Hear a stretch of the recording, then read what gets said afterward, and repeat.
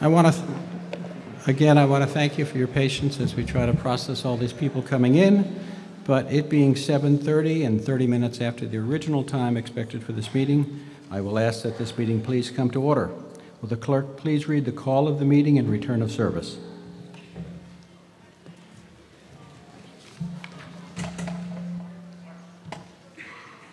Commonwealth of Massachusetts, Town of Duxbury, Special Town Meeting Warrant, Monday, October 17, 2022, at 7 o'clock PM, Duxbury Performing Arts Center, 73 Alden Street, Duxbury, Mass. Plymouth SS, greetings to the Constable of the Town of Duxbury in said county. In the name of the Commonwealth of Massachusetts, you are directed to notify and warn the inhabitants of the Town of Duxbury qualified to vote in elections and in town affairs, to meet in the Duxbury Performing Arts Center, 73 Alden Street, in said Duxbury, on Monday, the 17th day of October, 2022, next at 7 o'clock PM for the transaction of any business that may legally come before said meeting. And you are hereby directed to serve this warrant by posting attested copies thereof as prescribed by Mass General Law, Chapter 39, Section 10, and by Chapter 2, Section 2.3.1 of the Town of Duxbury General Bylaws at least 14 days before the time of holding said meeting. Hereof fail not and make due return of this warrant with your doings thereon to the town clerk at the time and place of this meeting. Given under our hands this 26th day of September 2022, Duxbury Select Board, Fernando Guitart Chair, Cynthia Ladd Fiorini Vice Chair, Michael McGee Clerk, Theodore J. Flynn, Amy M. McNabb. Plymouth SS, September 28, 2022. Pursuant to the warrant, I have this day notified and warned the inhabitants of the town of Duxbury, herein described, to meet at the time and place and for the purposes as described by the bylaws of the town. A true copy attested, Mitchell Lebret, Constable of Duxbury. Unless there's some objection, we'll dispense with the reading of the warrant. I want to thank the Duxbury Police Department for the honor guard in presenting the colors, and I ask that you join me in the Pledge of Allegiance to the flag.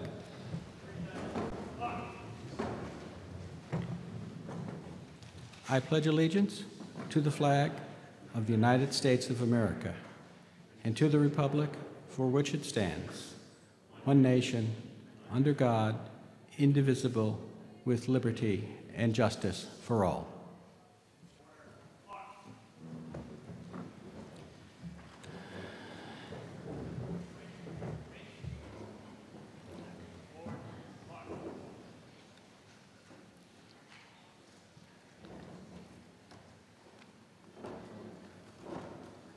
I'd like to introduce some of the people you see facing you in the front of the hall. They are on your right, my left.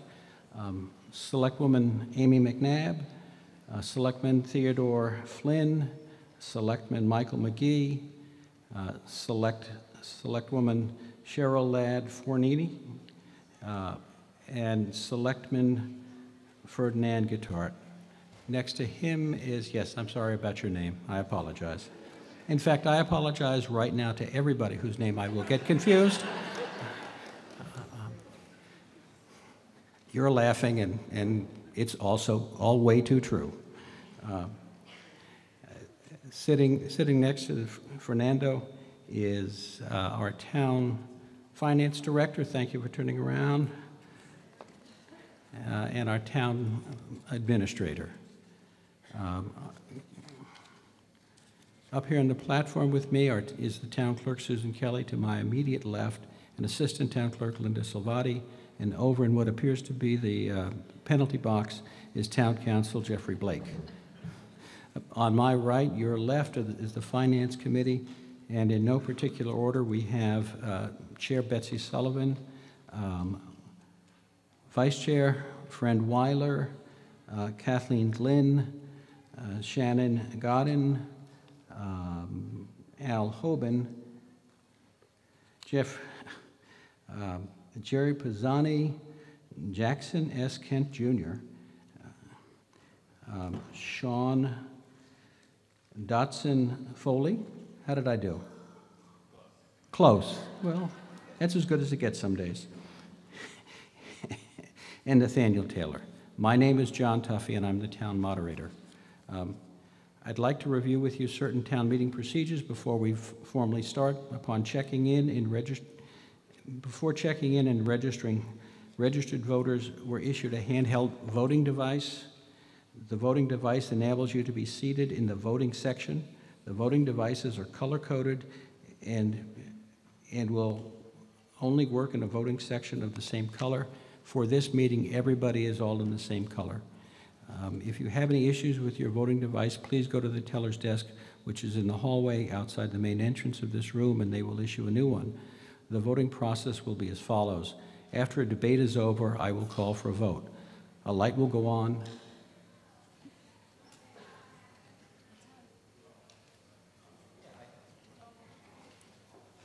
The green light to my left will go on. I was,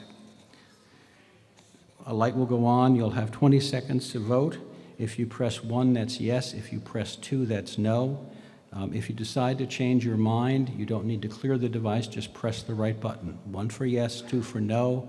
At the bottom of that little window, you will see it, a notice that says received. That means your vote has been processed and counted.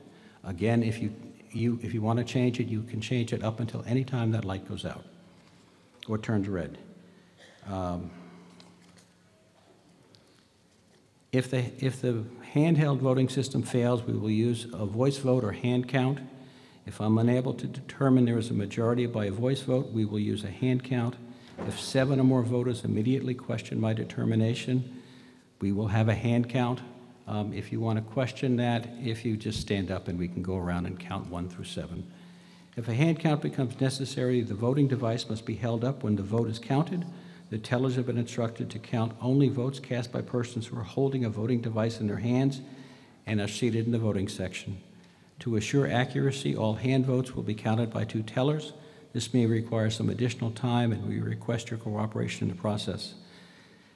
As part of the check-in procedure, the vote tellers have been authorized and instructed by the Board of Registrars to request positive identification in case of doubt. The hall today will be divided into six sections, numbered as follows. Section one is a small section on the main floor in front to my left. Section two is the center section of the front. Section three is the small section to my right. Section four is the section of the balcony to the rear to my left. Section five is the center of the balcony to the rear. And section six is the section of the balcony to my right. Visitors will be seated in the rear section of section one to my left, that is the non-voting section. It is my sincere hope that we don't have to deal with any of that, that we can just use our voting devices. It is so much cleaner. Microphones for use, your use are located in the back of the hall at the foot of, foot of each of the balcony aisles where they meet the stairs down to the main floor, behind voting sections one and three on the main floor, and here in front between the Selectmen and Finance Committee's table. Assisted listening devices are available at the table next to the entrance to the main floor. They are provided by the Municipal Commission on Disabilities. Fire chief has requested that I point out fire exits in this room. There are two fire exits on the lower level of the auditorium, one on my immediate right, your left, and one on my left. When you entered the room, there are also two fire exits at the upper level of the room at the rear of the hall behind the balconies. Please do not block these exits by standing or placing anything in front of them. The seating capacity for this room is 1,030. I think we're going to be okay. Um, in fact, there's quite a bit of room still open, and if you are at all uncomfortable sitting next to somebody, please feel fee- free to change your seat and get a little space between your, between your fellow voters. I request that all cell phones be turned off while the meeting is in session, except for public safety officials. And for your information, this meeting is being taped. At this point in our town meetings, we customarily vote to give permission to non-voters to speak to, to speak. We give that permission to town employees, officials who are not registered voters in the town of Dux- Duxbury, and invited guests. I will entertain a motion to allow our town employees, officials, and invited guests to speak should the occasion arise. So Do I- moved. Do I have a second? Second. It's been moved and seconded. Now is a good time to, uh, to test out our voting devices. You'll have 20 seconds to register your vote, one for yes, two for no.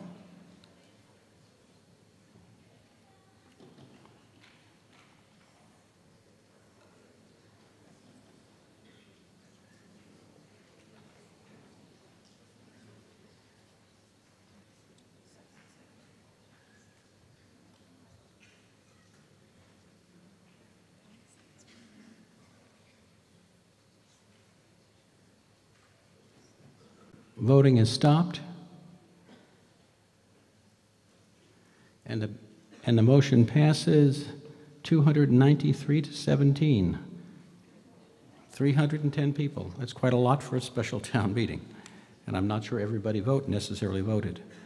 Um, This meeting is governed by the statutes uh, of our town bylaw and, town meeting time. In addition, I suggest we abide by the following procedures so that we may conduct the business of the meeting in an orderly fashion.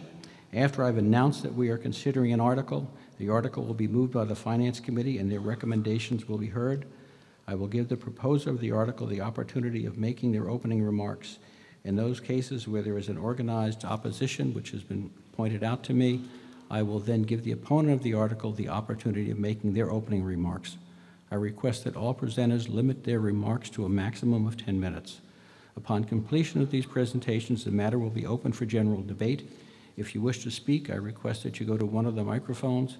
After you've been recognized by me, I would, would you please identify yourself by name and street address? I also request that all speakers limit their remarks to a maximum of five minutes and ask that speakers do not attempt to be recognized for a second time on the discussion of any article until every other person who wishes to speak has had an opportunity to do so for the very first time. Any lengthy or complicated motions or amendments should be submitted in writing so that we will know precisely what is being voted upon and so that we can maintain an accurate record of the proceedings. Town counsel is available to assist if you have any questions about the drafting of any such motion. There are a couple of procedures I just want to mention quickly. One is a motion for the previous question, sometimes known as move the question. It is a motion that ends debate, and it takes a two-thirds vote. A useful motion with town meetings when uh, you feel that we've heard enough or we're hearing the same kind of argument over and over again, um, it does move the meeting along. However, I have some concerns that it will be abused or used unfairly, and to that end, we have two procedures that will follow. One is I will not accept a motion for the previous question from someone who has just finished speaking on an article to eliminate a, uh, an opportunity to get in the last word. And second, um, is intended to assure that proponents and opponents of an article will have an opportunity to speak before debate is ended. So until the article is open to general debate, I will not accept a motion to move the previous question. Um, we do have some rules around reconsideration. Um, very quickly, they a, mo- a motion for re- to reconsider requires the same quantitative vote as the original motion. It must be made at the same session as the original motion or the next succeeding session. It is my sincere hope that we're going to finish up tonight and there will be no succeeding session, but that's up to you. It may only be one made once, um, and it may only be considered if the proponent provides, in the opinion of the moderator, factual information that was not available during the session when the original motion was taken. And then finally, if we are unable to finish the special town meeting tonight, I will ask for a motion to recess until tomorrow, Tuesday, October 18th, at this location. And now for the business of the special town meeting, Mrs. Sullivan, I'm going to ask for a, a motion on, on Article 1. Article 1 is the acceptance of a private way and have it become a town way. Thank you, Mr. Moderator. I move that, Article 1, I move that the town accept as a public way the roadway known as McLean's Way, as heretofore laid out by the Select Board and shown on a plan of land entitled Street Acceptance Plan for McLean's Way, Duxbury, Massachusetts, dated January 7th, 2020, prepared by Grady Consulting LLC and on file with the town clerk and to authorize the Select Board to acquire by gift purchase and/or eminent domain the fee to and/or easements in McLean's Way for all purposes for which public ways are used in the town of Duxbury, and any drainage, access, utility, and/or other easements related thereto. Second. The Select Board voted 5-0 to recommend, Finance Committee voted 7-0 to recommend. Are there any questions? Um, Any discussion on this article? If you'll please come to a microphone and identify yourself.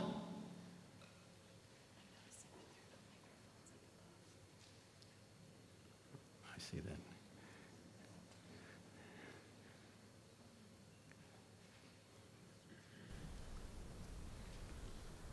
Uh, Sue Schofield, James Road. I'm just wondering what the cost is to the town? Do we have somebody who can provide an answer to that? Mr. Butkus, our DPW director, is coming forward.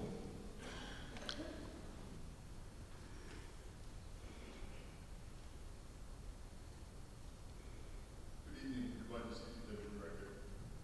Uh, when we accept the roadway, we actually get money from the state called Chapter 90 funds. Those funds are used for paving, crack sealing, drainage, things of that nature. Um, The things that would impact the budget would be the snow and ice removal, sweeping, tree work, those types of things. Can I give you an exact number on that? Not off the top of my head, but that- that's basically what comes out of the town budget. The reason I ask is that the road that I currently live on is full of potholes, and there's a lot of burden to the town with the roads that we currently have. So when McLean Road comes in, or a new development comes in, are there HOAs that they're currently taking care of their own needs? Well, once the town accepts it, then it's our responsibility. But we haven't accepted, so what I'm saying is, how is McLean Way or Road, how are they handling it now? Uh, that is done by the developer, I believe. Right, so, Being being road, there's very little to do on it right now. my road needs some love from the town, so I'm just, you know, I always ask, what is the cost? There's a cost to everything, so. Oh, just, I know, and I know you don't have a number, I'm just pointing it out, that's all. Thank you. Thank thank you.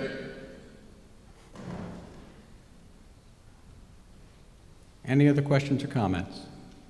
Gentleman in, in the back, my left. Hello, my name is Dean Sorelli, 15 McLean's Way.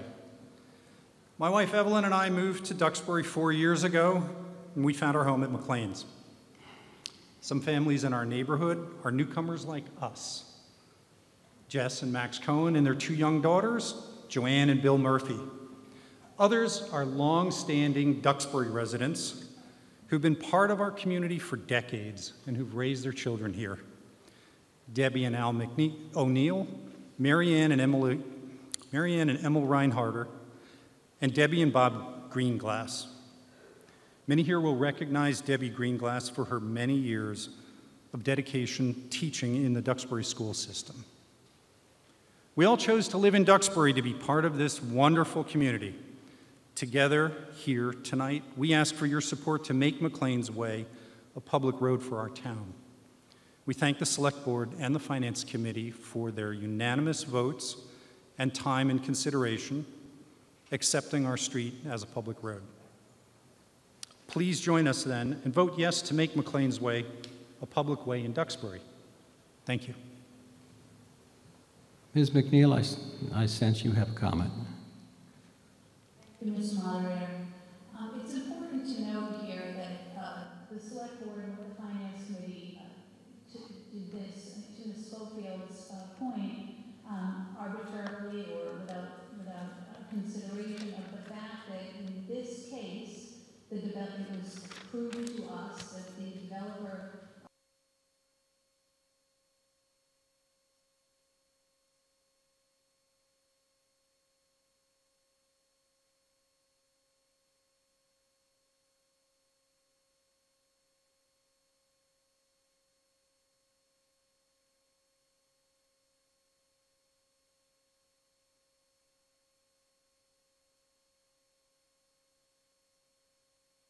that you live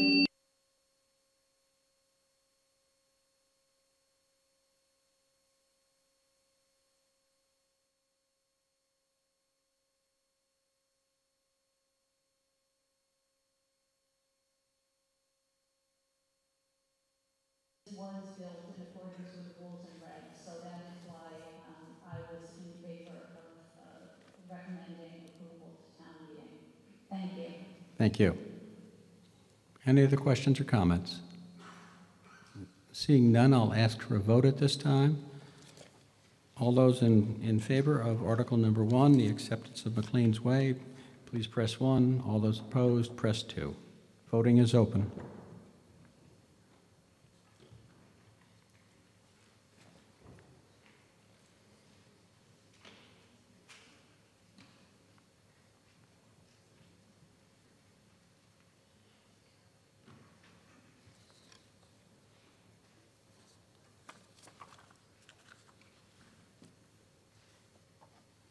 Voting is closed. The vote, vote passes 303 to 68. Well, Article number two, Mrs. Sullivan, it is a land purchase article. Um, Article 2, the um, Ricker land purchase, two-thirds vote required. I move that the town, as recommended by the Community Preservation Committee, A, authorize the Select Board to acquire by purchase, gift, or eminent domain, and on such terms and conditions as the Select Board deems to be in the best interests of the town, for agricultural purposes, all or a portion of the parcel of land located at 293 Mayflower Street, approximately shown as Town purchased 35.9 plus acres on a plan entitled Work Plan 293 Mayflower Street dated November 29, 2021, and dated last revised December 30th, 2021 prepared by Stenbeck and Taylor, Inc., a copy of which is on file with the town clerk, and described in deeds recorded with the Plymouth Registry of Deeds in Book 4041, page 96, and Book 3741, page 225, subject to easements reserved for the benefit of the lot shown as Ricker House Lot on said plan, which parcel shall be under the care, custody, and control of the Conservation Commission pursuant to the provisions of General Law, Chapter 40, Section 8C, and a right of first refusal and option to purchase the parcel shown on said plan as the Ricker House Lot. B, appropriate, appro- appropriate, sorry, the sum of one million six hundred thousand dollars for the purpose of funding said acquisition and costs incidental or related thereto, of which six hundred thousand is transferred from the Community Preservation Unreserved Undesignated Fund Balance, 100,000 is transferred from the Open Space Reserve. 300,000 is transferred from the Water Enterprise retained earnings, and the remaining 600,000 is borrowed, and to authorize the treasurer with the approval of the select board to borrow 600,000 sum under Mass General Law, Chapter 44B, Section 11, and/or any other enabling authority, and to issue bonds or notes on the town therefore. C, authorize the Select Board to grant a restriction on said parcel pursuant to the provisions of General Law, Chapter 184, Sections 31 through 33, in compliance with General Law, Chapter 44B, Section 12A. And further, D, authorize the Select Board in consultation with the Conservation Commission to enter into a management agreements from time to time for up to 10 years, as may be necessary for the purpose of this article, on such terms deemed by the Select Board in consultation with the Conservation Commission to be in the best interests of the town. Second. Recommendations, the Select Board voted 5-0 to recommend. Finance Committee voted 7-0 to recommend. Um, Fo- Hello? Ms. Rufo, you are speaking for the Conservation Commission? Good evening, my name is Nancy Rufo, I'm the Conservation Administrator for the town of Duxbury. Article 2 for your consideration, the Ricker land purchase. Um, First, there's a, um, about a five-minute video presentation um, to show you on the property.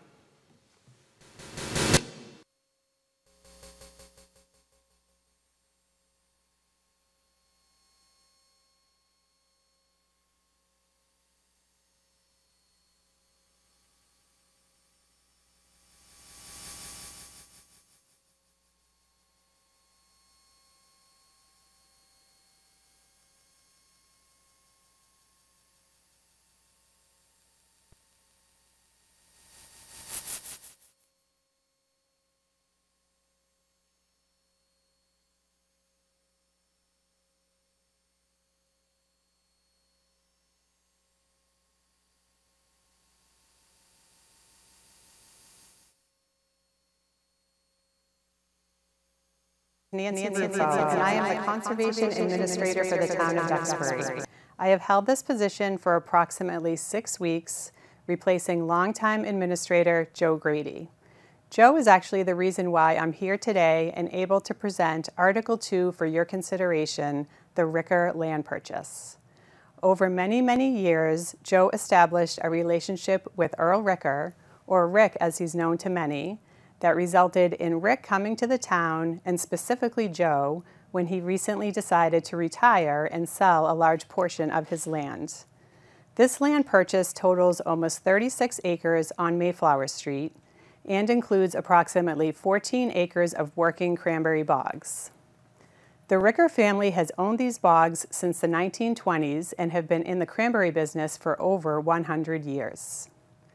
There are two bogs on the property.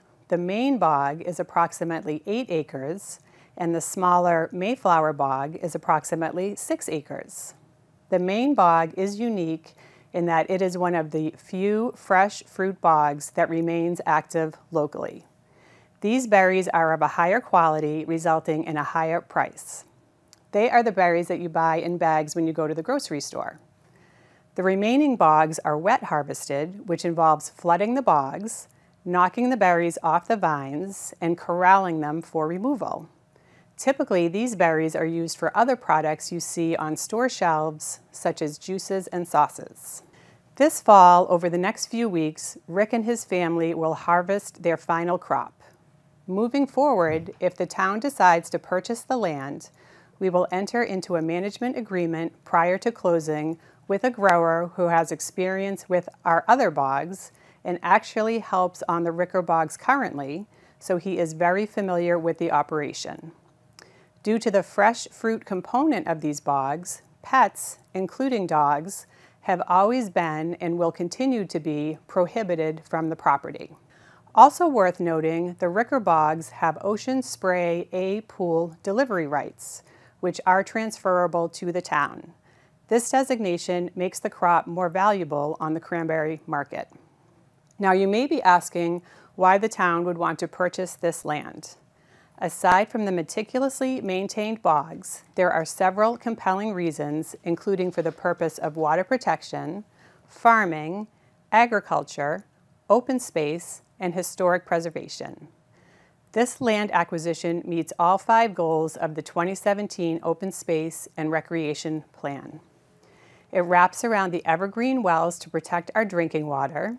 It preserves Duxbury's natural environment and its unique character. It protects open space and provides walking trails.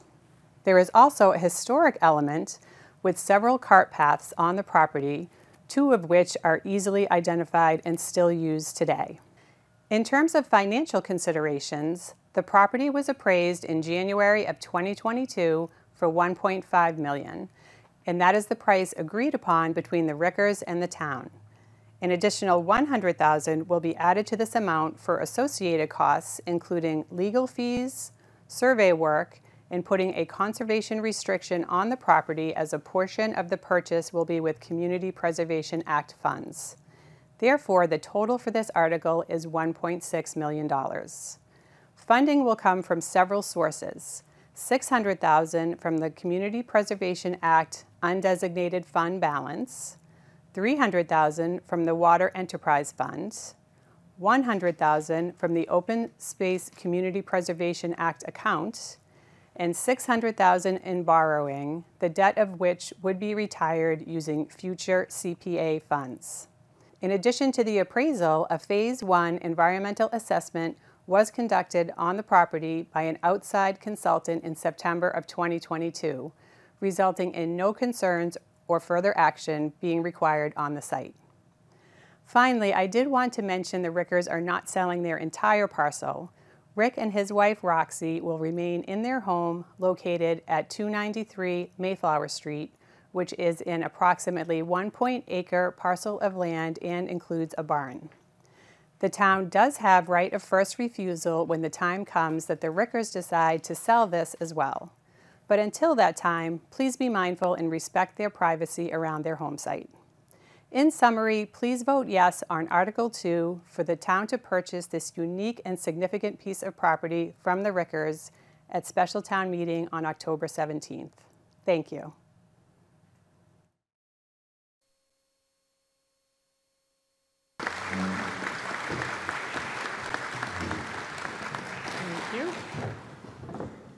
So I do have a couple of slides just summarizing what you just heard in case um, people have questions, I can go back to them. And then I was going to put the uh, property map up as well, so I can refer to that if people have questions.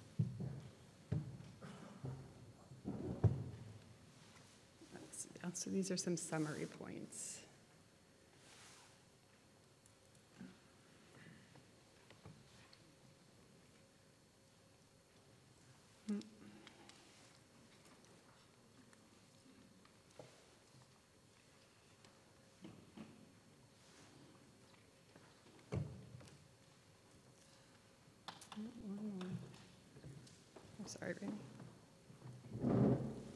There we go, okay. So happy to answer any questions.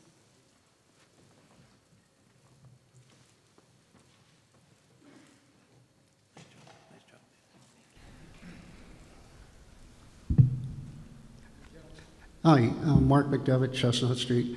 Uh, I'm curious why the debt component is being funded by the cash-strapped CPA and not a general obligation bond issued by the town. It seems like we're stealing the lollipop from the baby who's here to ask for more anyways. I'm going to defer that question to Holly Morris, Chair of the CPC.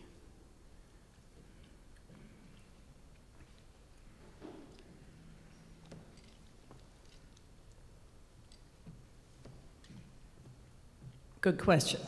Um, I'm Holly Morris, the chair of the CPC. Uh, we have been looking at this property for many, many years, and we currently have the funds to do this um, and to cover the debt on that property. Um, okay, quick follow-up, if I may. Just, qu- just quickly, and then we'll go on to the next. Um, I'm not familiar with how much the CPA can leverage its income from the contributions we make every year. And I'm wondering, is there a limitation? Um, can you incur more debt than you can service on one year's worth of? No, of course not. Um, What is, what is, uh, this has been factored in with the, um, the funds that we currently have, and we can cover this right now. Going forward, we, we really can't. Um, We're essentially at the bottom of the bucket, if you will. We still have a reserve. We have about, you know, after this purchase, we will have about 400,000 in our undesignated fund balance.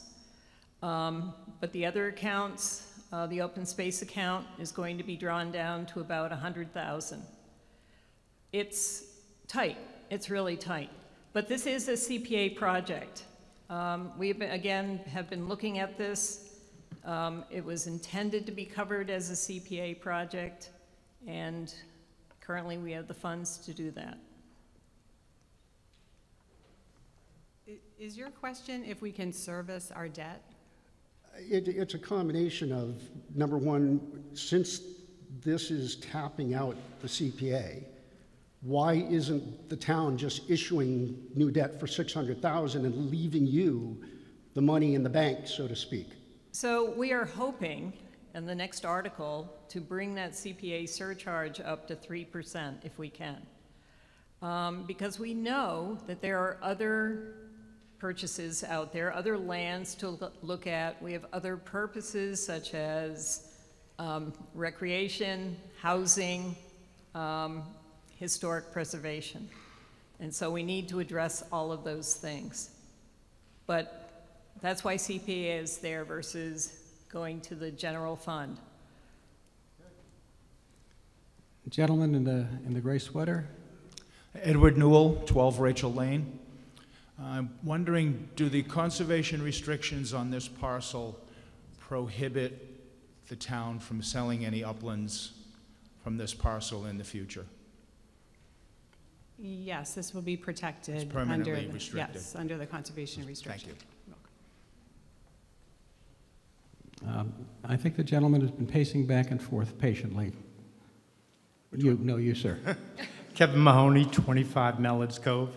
Thank you. I'm, I'm curious, you referenced that you've purchased other cranberry bogs in this that are operating and you're leasing them. What revenue do you anticipate getting back from this bog? And what are you actually getting back from the previous ones you purchased? Um, So the revenue from the bogs varies depending on the cranberry market. Um, We're not really using these bogs as a money-making venture. It's more of an opportunity for farmers to farm the land. Um, If it gets to a certain threshold, then the town does make money, but that's not the purpose of the Yeah, purchase. I'm not asking if you're making money. I'm asking you what revenue you're receiving. We're not receiving... You're not receiving any revenue? Oh, the lease, I'm sorry, yes. from the leases that you're, you're purchasing this land, part of your presentation was that, you know, you're going to lease this back to growers. What are we actually getting back in revenue?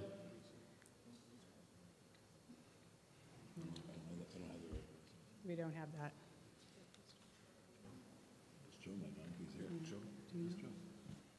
Uh, I may defer to Joe Grady. Yeah. Sorry. You almost got out of it. Good evening, Joe Grady, uh, 10 Wendell Pond Road. Um, The, the management agreements, they're not leases, they're management agreements, are, as Nancy says, on a sliding scale. Generally speaking, it's understood that it costs approximately $35 to raise one barrel of cranberries. Um, So usually, if the, in these agreements, the, uh, there's, there's no payment to the town if it's 30 or $40 a barrel. If it goes to $50 a barrel, we may see 5 or 10%. We presently have seven management agreements. Each of them is slightly different. Um, But generally speaking, if you get to $40, you may get 5%, $50, you get 10%, $60, you get 20%. In the late 80s, the town of Duxbury made a million dollars off of the fruit that we sold from the cranberry bogs. In those days, the, the fruit was selling for 60, $65 a barrel. Uh, right now, uh, it's expected that these berries this year will sell for something in the range of $40 a barrel. So it is conceivable that the town may see some revenue from some of their cranberry bogs in the future if the price continues to rise. But for the last few years, it's been below $40 a barrel, and the town has not received any funding from these properties. Thank you. Thank you. Gentleman over here with the brown vest? Yeah, Rod Saris, Valley Street. I just want to know if the town is going to be the sole owner of the Ocean Spray delivery contract, and does the town Or is the town a sole owner of any other ocean spray delivery contracts? Yes, the um, ocean spray delivery rights will be transferred to the town, and other bogs in town do have ocean spray rights. Thank you, Mr. Moderator. Uh, Tanya Trevison, 21 Tinkers Ledge Road.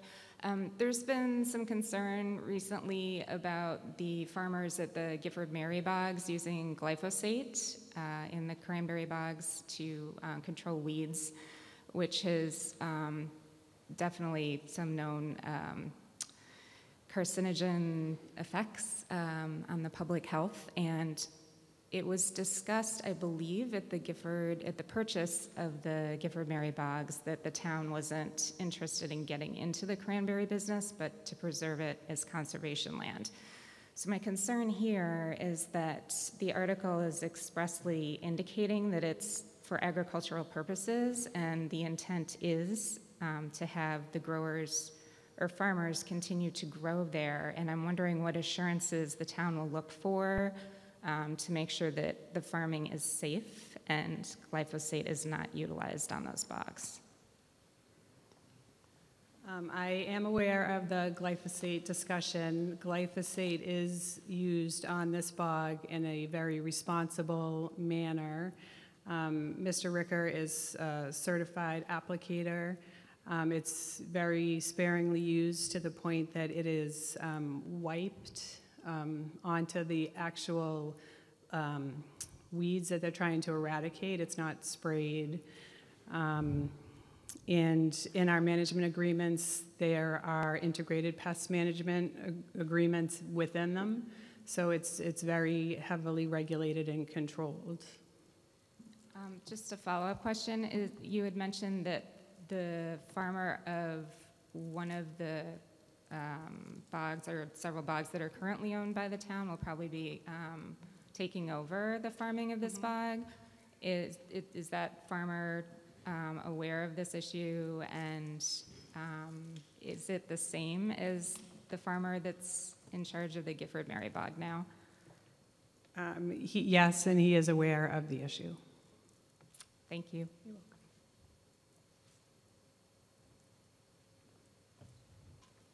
Gentleman in the back on my right.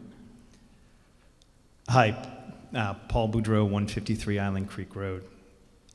Um, I'm abutter of this bog. I've been in a butter for almost for over 16 years. Um, a neighbor of, of Earl's, uh, a neighbor. Um, I could not have a better neighbor. This, he's an incredible, incredible man, and he takes care of that bog like um, most people in this town take care of their their front lawns. Um, this is by far the most beautiful bog in the town of Duxbury, in my opinion. You know, how many people come over to our house and look out the back window and see this and say, I've never seen a more beautiful bog. It's, I think it's a wonderful thing that the town wants to buy this bog and so other people can enjoy it. Um, the one thing that I did want to talk about here is that Mr. Ricker floods the bog typically the first week of January for a couple of months the amount of kids that come out and play ice hockey on that bog, and not just hockey, but people who come out and skate for a couple months out of the year. Granted, you have to have the perfect conditions for that, but is that something that will be able to be maintained for the last 16 years that I've been there? This is always something that's been part of that community. Yes, that's something that we'll maintain. So will that be a town responsibility, or would that be the responsibility of the person managing the bog? It's the responsibility of the person managing the bog. It's, it's not flooded for the purpose of ice skating. It's flooded for the purpose of protecting the vines. Understood. So as long as the conditions are right for him to do that, um, then it would continue. So, a second point, on the management of the bog, again, this is a very beautiful bog, and there's, there's absolutely no equipment, no broken down trucks, backhoes, any type of equipment on these bogs at all. They're all stored very, uh, very neatly in Mr. Mr. Ricker's uh, barn. Uh, So, in, during the management agreement, oh, is there any kind of uh, language in the management agreement that will prohibit the, the, uh, the grower from storing excess material. Obviously, there's going to be material during the harvest week, but that's one week a year.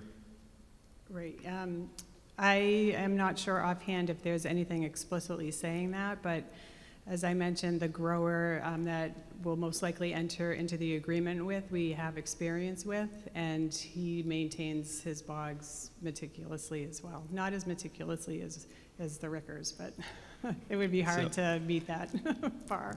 So, so is it possible that some of the, uh, the abutters, if, if this moves forward, it becomes a town property, is it possible that some of the abutters of the bog can be, um, could see the management agreement or be part of the process of the management agreement before it is actually signed? Um, If I could, the article itself, the motion itself says that the um, very end of the article, uh, into, can end, Conservation Commission to enter into a management agreement from time to time for up to 10 years as may be necessary for the purpose of this article on such terms deemed by the Select Board in consultation with the Conservation Commission in the best interest of the town. So my suggestion is, if this goes forward, it's something that the Board of Selectmen and the Conservation Commission will, will be taking up, and that's where this discussion can go. So there's, there will be dialogue about the management of this bog as, if we move forward, is that what I'm hearing? Does anybody on the Board of Selectmen have anything to say about this? I'm seeing yes from the Board of Selectmen.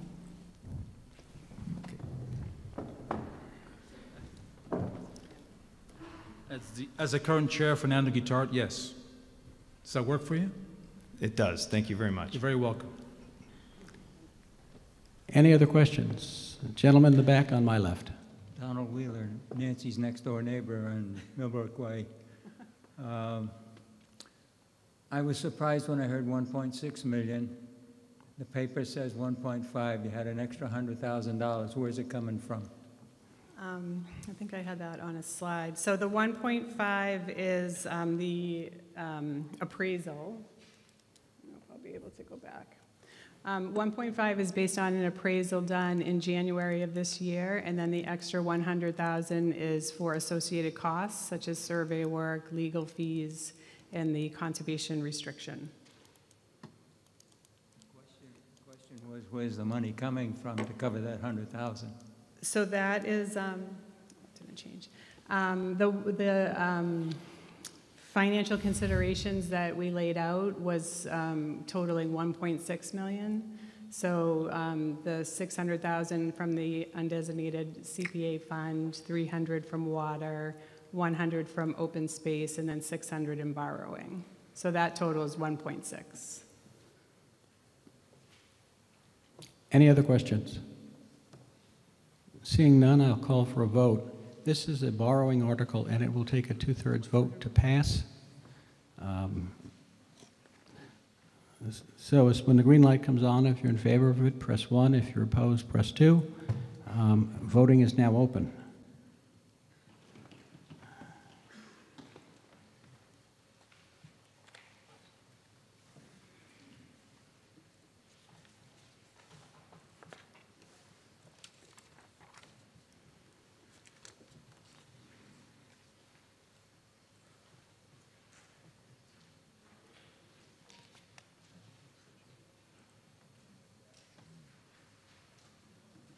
Voting is closed.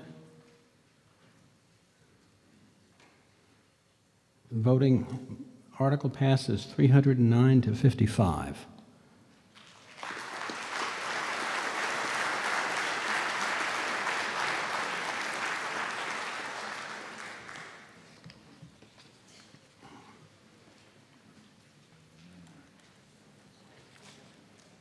Mrs. Sullivan, on to article number three, and I just have a comment before, Yes, before I of ask you course. for a motion. This is to increase the Community Preservation Act surcharge, so that people are clear about the process. This is the first step as to whether or not this art, we increase the, the uh, charge. Very first step is to get town meeting, the legislative body of the town, to vote in favor of this. If you vote in favor of this, it will then go to a ballot vote at the very next scheduled town election, which is in March of 2023, the next town election. So this is the first step. Um, If it passes, it goes on to the ballot. If it fails, then it's over. So just to understand, we have, a- you would have another step to go through if this were to actually be in, be in place. May I have, may I have a motion, Mrs. Sullivan? Article 3, increase to the Community Preservation Act surcharge. I move that the town increase the surcharge imposed under Section 3 of Chapter 44B of this general laws, the Community Preservation Act, from 1% to 3% of the taxes assessed annually on real property, starting with taxes assessed for the fiscal year beginning July 1st, 2023. Said vote being contingent upon the approval of said increase by the voters of the town of Duxbury at the next regularly scheduled municipal election. Second. Um, Select Board uh, voted 5-0 to recommend, Finance Committee voted 7-0 to recommend, and Fiscal Advisory also unanimously voted 7-0 to recommend. Ms. Morris?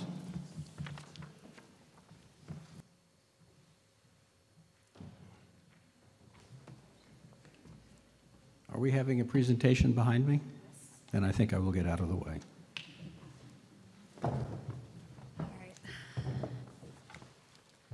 Um, Good evening. I'm Holly Morris, and I am the chair of the Community Preservation Committee. Um, Thank you all for attending this evening.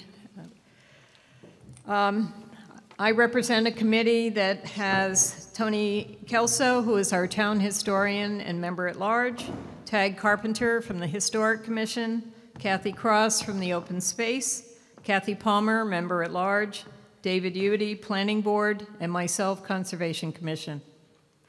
Today, I'd like to talk about returning the CPA surcharge to the original 3%.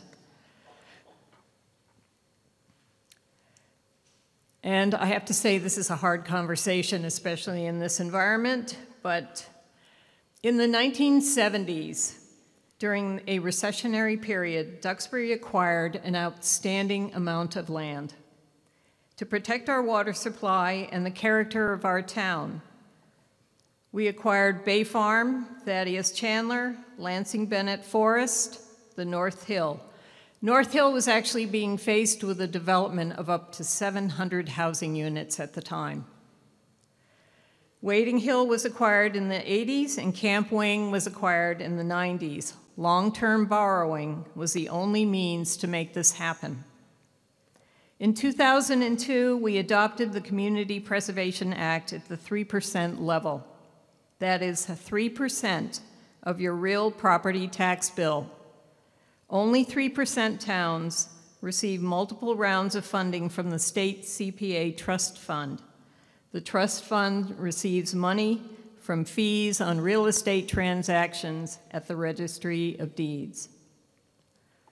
Let's see if I can make this work. 10% of all CPA funds, your surcharge, and state matching funds are deposited into open space. Another 10% is in historic preservation, and another 10% in affordable housing. We don't have to spend it right away, it can be banked. CPA funds can also pay for recreation. Usually that comes from the undesignated fund balance, which is our reserve, or the open space account. We also put 5% of our revenue into the administrative account to pay for salaries, legal fees, and consultants. What is remaining rolls into the undesignated fund balance or our reserve, and this is now paying our debt service. The estimated adjusted balances for fiscal year 23, our surcharge receipts are roughly around 602,000. Our debt service is over 200,000. The open space account balance is at this point now 111,000. Historic account 238,000, housing account 158,000, and the undesignated fund balance is roughly 460,000. The state match is yet to be determined. In 2020, we received a 28.6% match.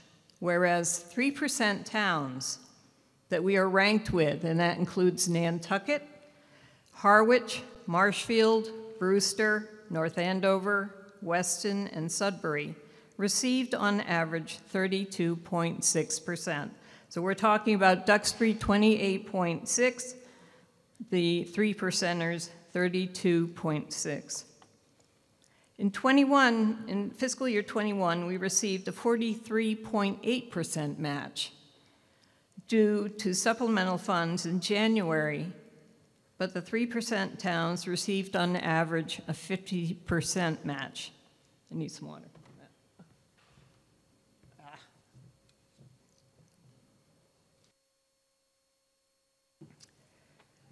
So we're talking about last year getting 43.8%, the three percenters got 50%.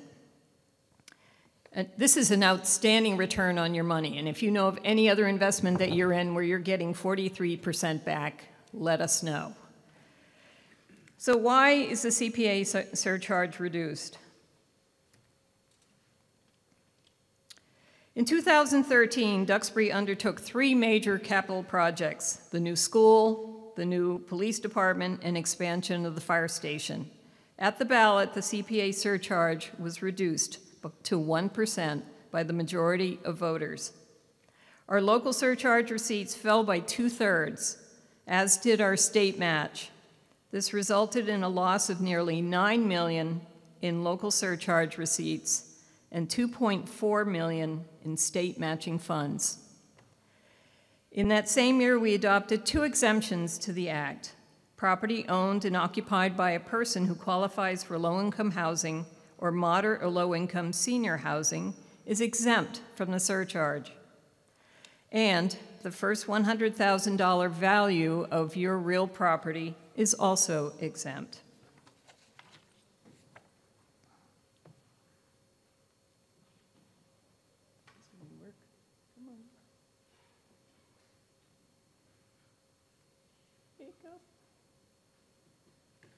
I'm it up there.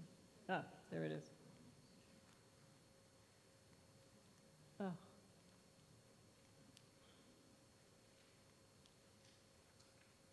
It's slow. there we go. What this bar chart shows you is that for the first five years, when we were a 3% town, we were generating $1 million in surcharge receipts, and it was being matched one to one by the state. So we were getting $2 million to work with for five years. And we put that money to work, as you can see. The, the blue bar is the surcharge receipts, the yellow bar is the state matching fund, and the green bar is what we spent. During the first five years, some of the projects that we spent the money on was the O'Neill Farm, Berrybrook Field, Camp Wing, Howlands Landing Park, and the Town Hall and Wright Building restorations. Eventually, other towns in the Commonwealth realized that this was such a great deal that they then came on board and the state matching funds were falling, they were reducing. Um, this was anticipated, but it was still, our returns were very good.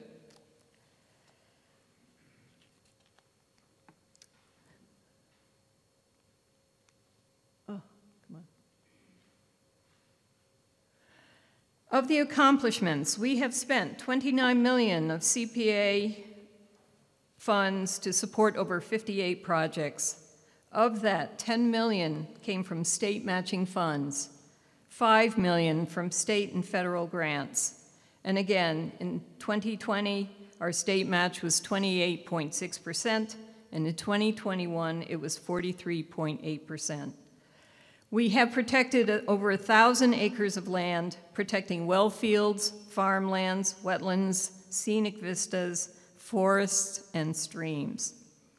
20% of funds have been spent on historic preservation. And let me point out that 85% of that money went towards town owned buildings, such as the Wright Building, Tarkiln, Old Town Hall, the library, cemeteries, and preservation of the town clerk's records, and the World War, World War I Memorial. Housing for disabled adults and Habitat for Humanity homes were built on land purchased with CPA funds.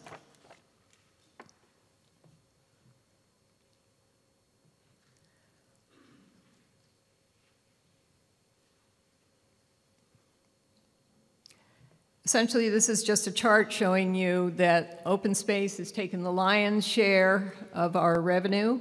Um, then historic was the next one. Um, um, uh, affordable housing and recreation.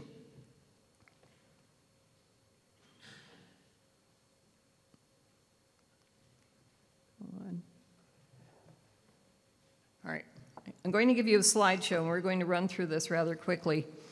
What I want to point out is how we go through the process of selecting um, articles to bring to you, the town meeting. Proposals are received, a presentation is presented to the CPC by the proponents. The CPC undergoes an evaluation. Does the project meet the requirements of the Act? Is it consistent with the open space and recreation plan? Is it consistent with the town's master plan and any other planning document? Does it protect the resources of our town, protect the character of Duxbury, provide passive or ac active recreation, or serve a currently underserved population? We evaluate the costs and benefits and often work with and advise the proponents to leverage the project with additional funds and then we meet with other boards and committees, such as the Select Board, uh, Finance Committee, and Fiscal Advisory for their endorsement. All meetings are public, with the exception of meetings for land that may have a detriment, which may have a detrimental effect on the strategizing and negotiating position of the town. Finally, you decide whether the project is to be funded.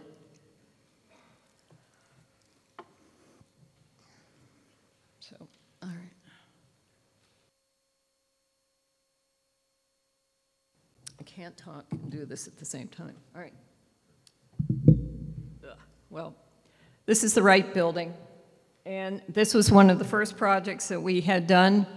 Um, and as you can see, we paid quite a fair amount of money. This building, if you remember, was actually mothballed, and we brought it back to life. The front end of the building is the archive for the Duxbury Rural and Historical Society. The back end is used by the kids in the public school. Come on. Bluefish River Firehouse. Thanks to Nancy Bennett. This was a tremendous project. Um, we spent $9,800 on this project, and it also garnered um, $20,000 in donations, and a number of people provided supplies and labor.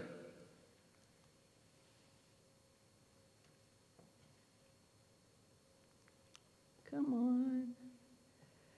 Duxbury Free Library Restoration.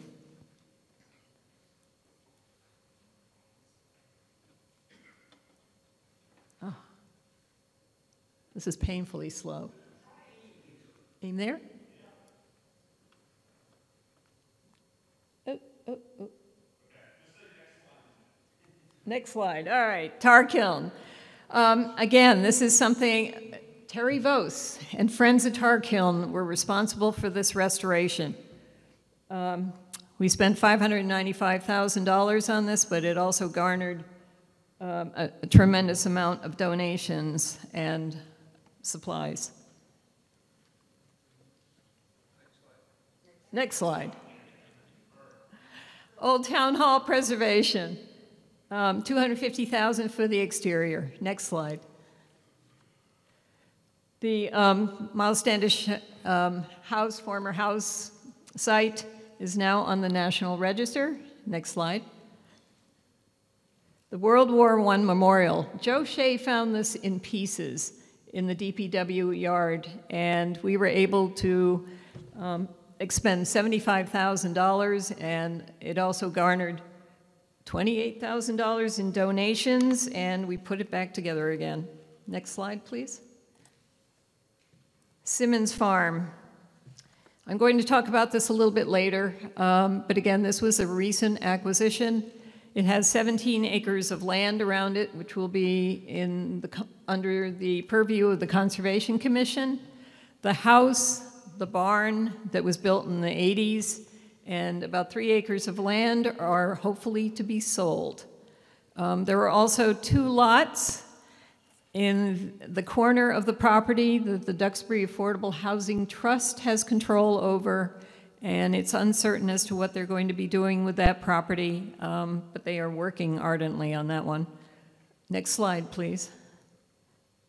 Keene Mill, again, another restoration project on Keene Street. Next, please. Um, we spent a fair amount of money on um, the two graves, um, graveyards in Duxbury doing restoration on the gravestones, fencing, signage. Next, please. Historic O'Neill Farm. This is tremendous. It was a $4.3 million acquisition, but we spent 1.5, yeah, 1.55 million of CPA funds, 140 acres of land. This has been in the O'Neill family for six generations since the 1800s, and it's still being farmed. Can you imagine if that field was now a housing development? Next, please. And that's a calf. Next, please. Jaycox Tree Farm, one of our first projects. This is the Christmas tree farm.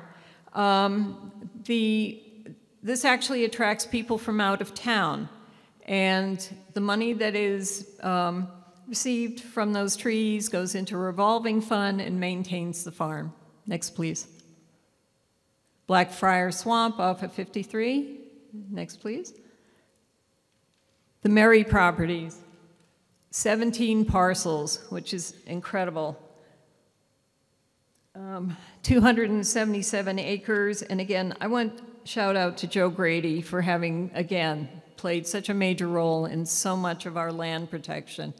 Um, if it wasn't for him, this may not have all happened, but again, he has developed over the years a very good relationship with the owners of these properties, and that's how we came to um, terms with the sale and so forth. Next, please. Berrybrook Hayfield, this pays, this grows the hay for the O'Neill farm. Next, please. Camp Wing Conservation Land. Um, when we acquired this, we also set aside three acres of land for affordable housing, which is the Feinberg Bog Road. Next, please. Howlands Landing Park, five acres for three million. This allowed people to have access to the Nook, that area, um, and to be able to just enjoy the open space on Standish Shore. Next, please. Round Pond, we bought the Loring, Loring Nudd, and O'Brien Bogs. And this is Round Pond. Many of you probably walk around there. Next. Pink Cranberry Farm, we purchased this last year. This is, again, an active bog. Next. Island Creek Fish Ladder. What amazes me is how old this is. This is 1702. um, this was an amazing project in that we used CPA funds. We also received money from the state and the federal governments and donations. I believe it was Battelle was one of the large donors to bring this fish run back to use again. Next, please. Pickleball courts very popular. this is one of them um, over at Tarkiln. Next, please. And this is the new set that's over near the library in Alden. Next, please. Turf field. We spent 500,000 of CPA funds doing the site work on this project. You cannot use CPA money to pay for turf, artificial turf. Um, but Pride did a fundraising effort for $880,000, very successful, and covered that expense. Next, please. The playfield on Keene Street. Next. Baseball and softball dugouts throughout town. Next, please. The Delano Farm. On this property, when we acquired it, there is a well, well site. There was also a single family home, which now is the home for, uh, it's a, for a lower income family. And also, we provided the land so that a house could be built for adults with disabilities. Next, please. The Grange acquisition. This was acquired um, initially for a single family home. It could not be restored. It had to be torn down, and in its place is a single family home, again, for a low income family. Next. This is the Feinberg Bog that I talked about. Six housing units, it's um, mixed use income. Next, please. We also provide grants to the nonprofits, um, such as for the King Caesar House, which is owned by the Duxbury Rural and Historical Society. Next, please. The Alden House, um, by the Alden Kindred. Next. Nathaniel Winsor House, Duxbury Rural and Historical Society. Next. The Bradford House Museum, which is the Historical Society. Next. The Isaac Keene Barn, which is at Crossroads for Kids.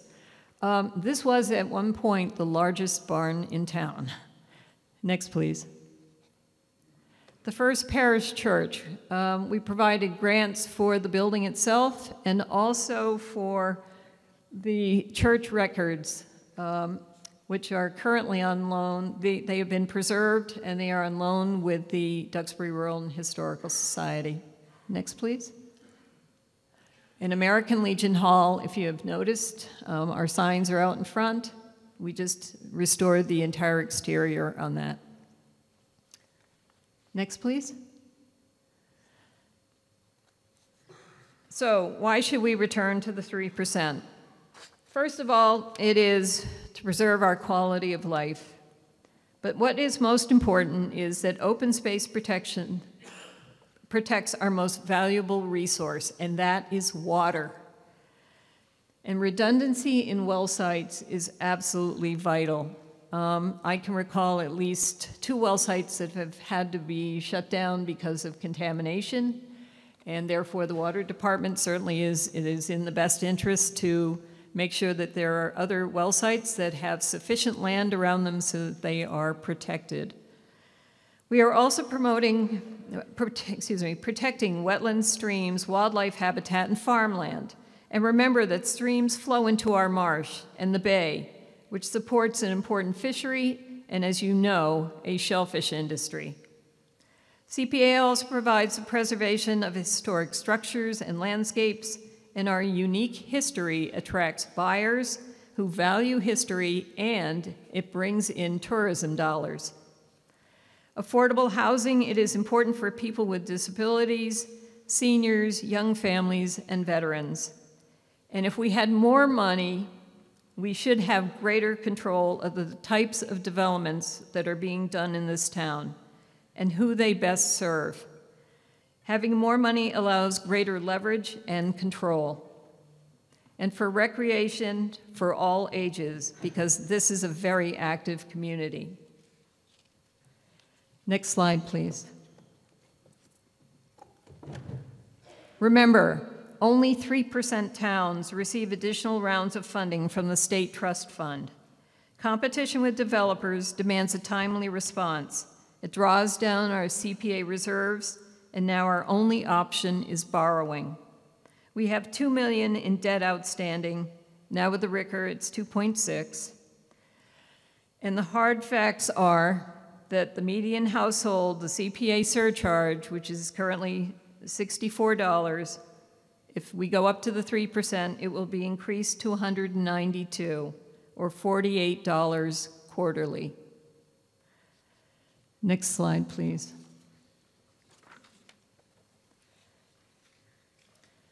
This again is the Simmons farm. Again, the town considered exercising its right of first refusal for this farmland when the owner passed away. We were challenged by a developer who threatened to build a very sizable development that grew larger as the town challenged him. Also, a 40B was in the permitting process across the street. This led to a public outcry for the protection of the historic character of the neighborhood. Litigation ensued, and we prevailed. And we had to respond quickly with the acquisition for 2.23 million. We drew down all of the CPA accounts and borrowed. The farmhouse barn and three acres of the land is to be sold. The field will, will remain in conservation, and two lots, as I had mentioned, are under the control of the Duxbury Affordable Housing Trust. Next slide, please. This is not Duxbury. this is Lincoln. Um, a bunch of us went up to look at Lincoln years ago to see how they did farming on their conservation land. And farming has been extremely, it's been embraced by the community in Lincoln. It provides local food, community gardens, supports farmers who care about improving the soil and care of their livestock. It supports a food pantry and education to children. It is highly successful in Lincoln, and we hope to bring back more farming to Duxbury. Next, please. CPA protects the most valuable resources, and again, at the top of the list is water. It supports sound planning and balanced growth. The state matches a tremendous return on your investment. We received 43.8% in 2021, and as a 3% town, we may have received up to 50%. This is why this program is so successful in the Commonwealth. A yes vote will return the CPA surcharge to 3% and puts it on the ballot in March. We couldn't bring this to the Springtown meeting because the ballots have to be printed 30 days before the spring elections. And if any changes were made at the spring town meeting, the ballot could not be changed. Finally, this is about who we are and what we want our town to become, what we want to leave behind to our children, to the next generations, as did generations before us. Please support the return to the 3%. Thank you.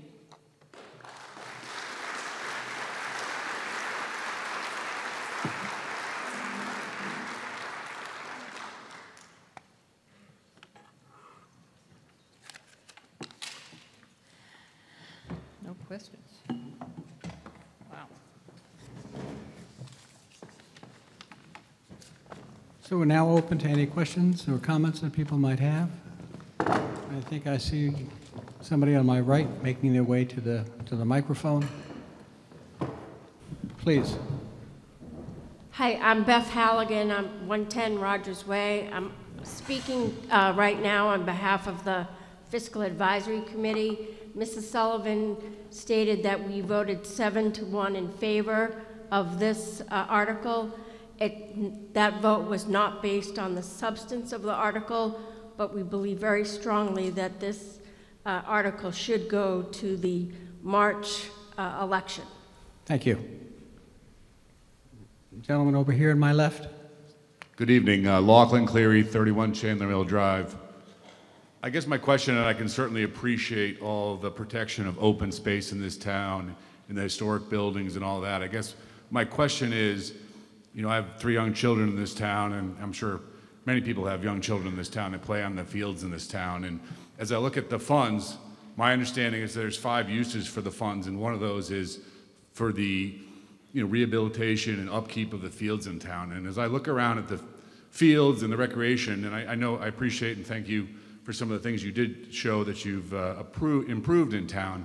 I guess my concern is that maybe not enough of the funds are being allocated to things that probably hundreds, if not a thousand kids in this town are using in terms of the fields and things like that. So I guess I'd love to understand, you know, a little bit more of the process of how do we decide what, where we spend our money?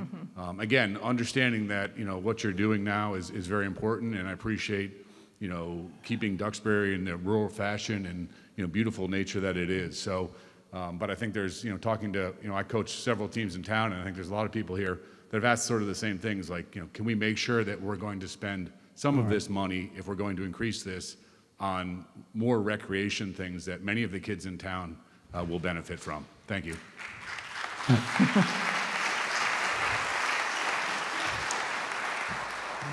Mrs. Morris, before, Miss- yes, before, Loretta.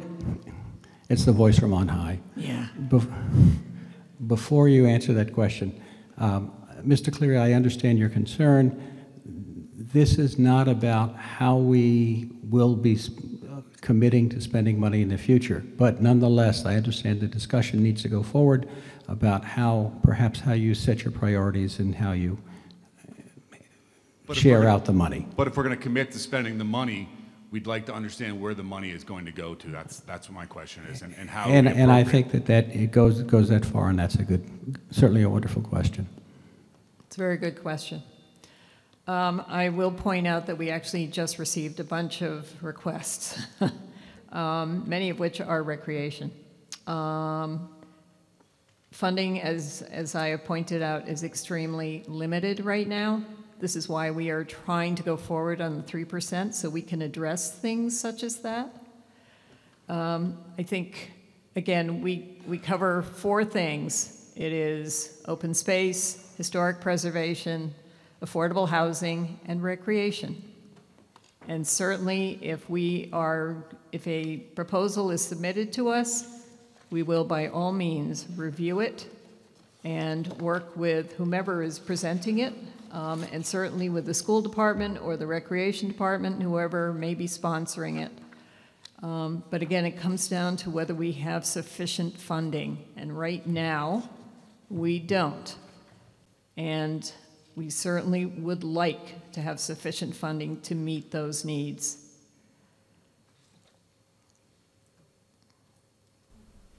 Any other questions or comments? Gentleman in my right has been patiently standing at the microphone. Hi, uh, Jim Hartford, uh, 184 Surplus Street. I'm here tonight uh, in my role as the interim executive director of the Historical Society. Um, Society certainly has been a beneficiary of, of CPA, CPC funding over the years.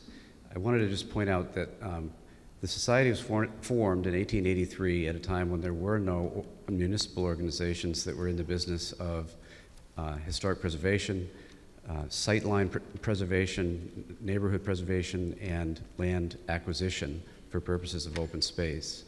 Society owns, in addition to its historic structures of the King Caesar House, the Bradford House, the maintenance of the archives at the Wright Building, um, and a number of other significant properties, we own and steward approximately 150 acres of open space. Um, we get about 45,000 visits a year on these properties. We also have educational programming that we run um, that, that uh, involves around 1,100 students every year.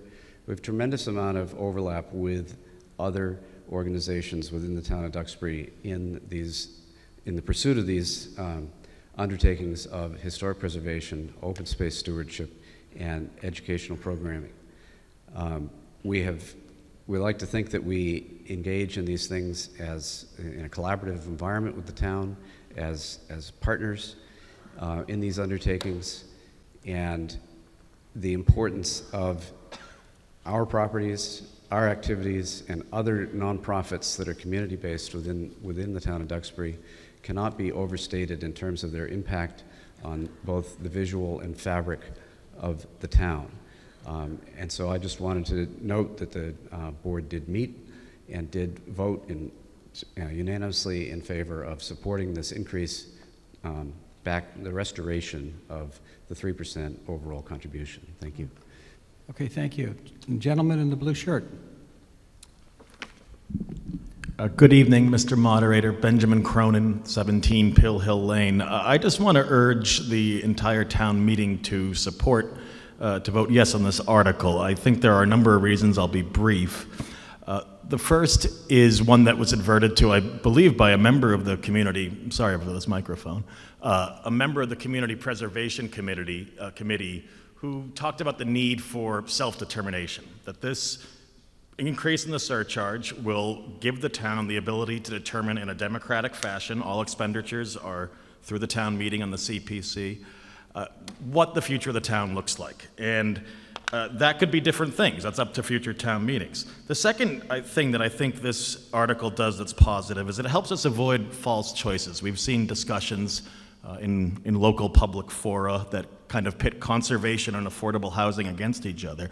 I'd suggest uh, that that's a false premise, that we can have both. And in fact, the Act explicitly mentions, it's mentioned in the statute, not only affordable housing or community housing, it says, uh, but also environmental preservation.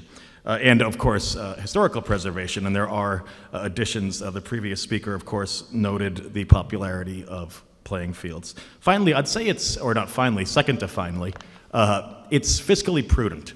We uh, often find communities are sort of given a, a, a false, uh, again, false choice we have to develop and uh, what's the solution to the costs that are incurred by development of greater services from the town? Well, we'll develop some more, and it becomes a Ponzi scheme, essentially, the same logic. And so it's actually fiscally uh, prudent in my mind. It may be somewhat painful, and I'm sensitive to that pain that people, especially on fixed incomes, do have. However, uh, it's an issue in my mind of being penny wise versus pound or pound foolish. We don't want to have to spend more money later. Uh, finally, I think Mrs. Morris did a good job showing precisely how uh, central this is to the fabric of our community. So, for all those reasons, Mr. Moderator, I'd urge the town meeting to support this article. Thank you. Thank you. Um, we have two, two more people who've been patiently waiting to, with, with questions. Um, do either one of you have a question, or is it more a suggestion how people should vote? No, I wish to speak uh, against the article. That, that's, that's fine. Um, wonderful. So we'll go ahead, and we have two people waiting, and maybe we're easing up on a vote. Um, please go ahead and identify yourself. Thank you. Um, I'm Eve Penoyer. I live at 59 Tussock Brook Road, and I, am a financial professional. Um, I'm speaking against the article not because I oppose the wonderful work of that we've been able to do with the CPA, um, but for a very similar reason that I spoke vehemently in favor of going down from 3% to 1% some years ago. In my opinion, we can't afford it. This is probably the worst imaginable time to be asking taxpayers to triple a tax.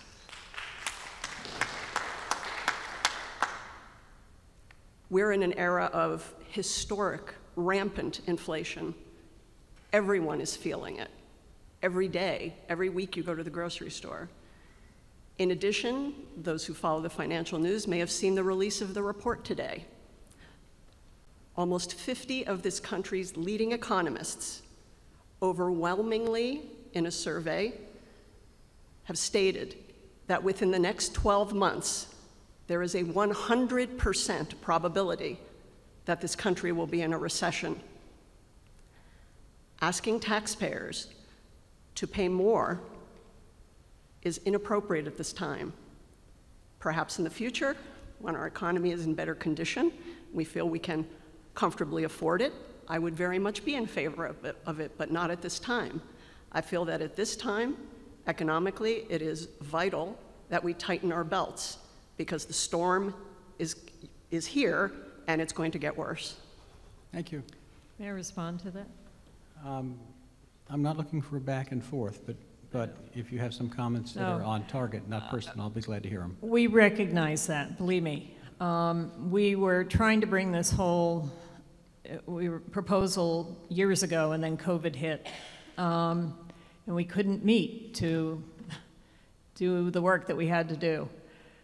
It, it is certainly, it's a difficult time. And as I pointed out at the beginning of the talk, Duxbury you know, despite being in a recession, acquired the most tremendous amount of land in Duxbury that has ever done. Um, the work, there's a lot of work to be done. And we know, you know, this, this may present some hardships for some people. But on the other hand, time is important. We do have developers that are very interested in our town, as, as you are well aware. And in, sometimes it's not, a, you know, some of their projects um, may be encroaching too much in certain neighborhoods, as what was happening with the Simmons Farm, and we have to respond rapidly. If that property is in Chapter 61, which is property that has been paying reduced taxes over the years, and there's an opportunity to acquire it for various purposes, whether it be recreation, open space, even housing, affordable housing, then so be it. But if we don't have the funds, we can't do anything. And right now, we are at the bottom. Thank you. Uh, Gentleman on my right, and then there's a woman wa- waiting over here on my left. Hi, I'm Mark McDevitt, Chestnut Street. Um, I thought I was going to be, uh, you know, 307 votes to one. I'm voting against this article. Um, my real question is not to the CPA. Um, my question has to do with the Select Board and the, you know, Committee of Finance, who sound like they unanimously support this on both sides. And I'm thinking in the context of the rapid inflation that we're in right now, the 25, 30% increases on some capital items that were recently reported in the Clipper, you know, increases over what was originally budgeted. And you guys who are on the select board and the Committee of Finance know the numbers a lot better. What are we facing coming March?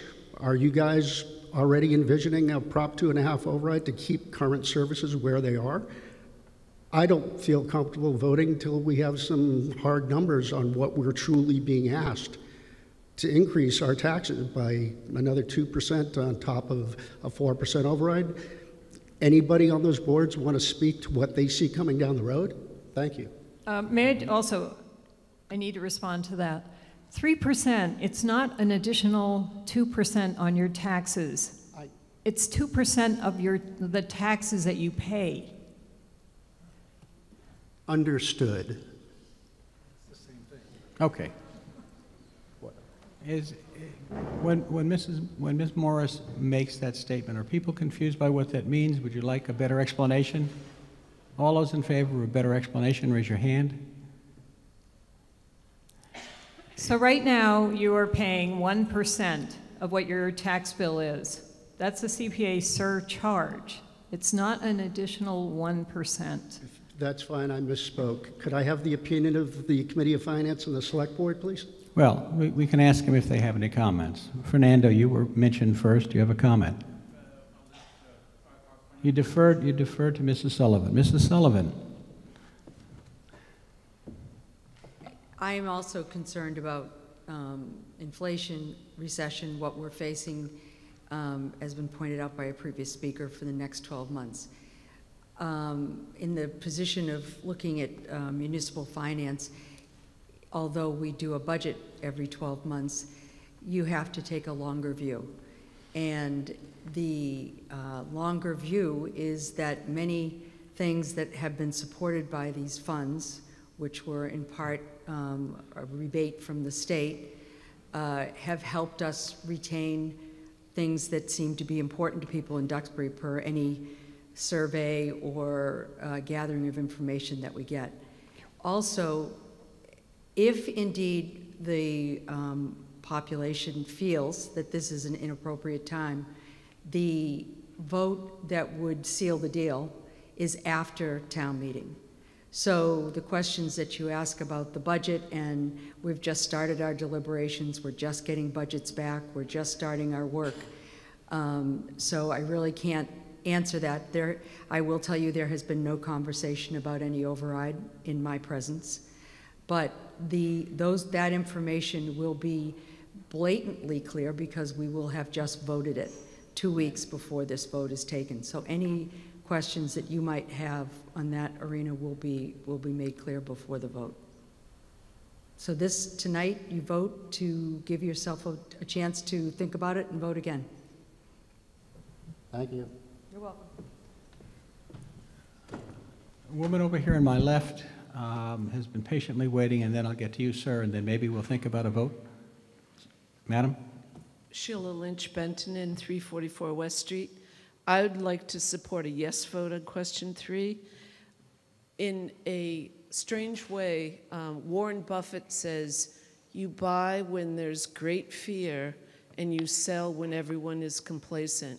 And the next three years will be a great opportunity for Duxbury to really address affordable housing while the developers and the real estate industry takes a break. I'd like to uh, define further who's exempt from the CPC. Any senior over age 60, one person household, 98,000, two person household, $112,000, three person, 126, up to eight people. If you earn 185,000, you are exempt from this 3% overcharge. Also, all the low-income people in town are exempt from this surcharge. A one-person household, if you earn less than 78,000, two-person, 89,000, three-person, up to eight, 148. So people who truly can't afford it in town are exempt from it. Others of you that can afford it the next three years are a perfect opportunity to address affordable housing in this town. Locally, you, we need 10% in order to push back against 40B developments. Cohasset's at 10%, Hanover's at 11%, Hingham's at 11.4%, Marshfield is heading to 10%, Duxbury is only at 7.8% affordable housing. That means we have to do 121 more units in the next few years. If we, if we don't pass a 3% CPA, it means that 20 more developments of 28 units can happen anywhere in this town. And do a Warren Buffett move. Move it up, if you can afford it, to 3%. Let's really address affordable housing Let's push back on the awful 40Bs that are happening in this town. Let's have uh, um, finance the Affordable Housing Trust to do senior rental housing and fund it. So if you can afford it, which most in the town can afford, a few hundred, the next three years will be very important for affordable housing. Don't lose this opportunity. Thank you. Thank you.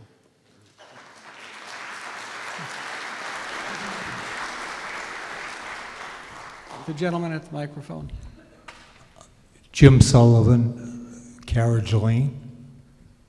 Um, while proponents of tripling the CPA may be well intended, um, it's ill advised and unnecessary.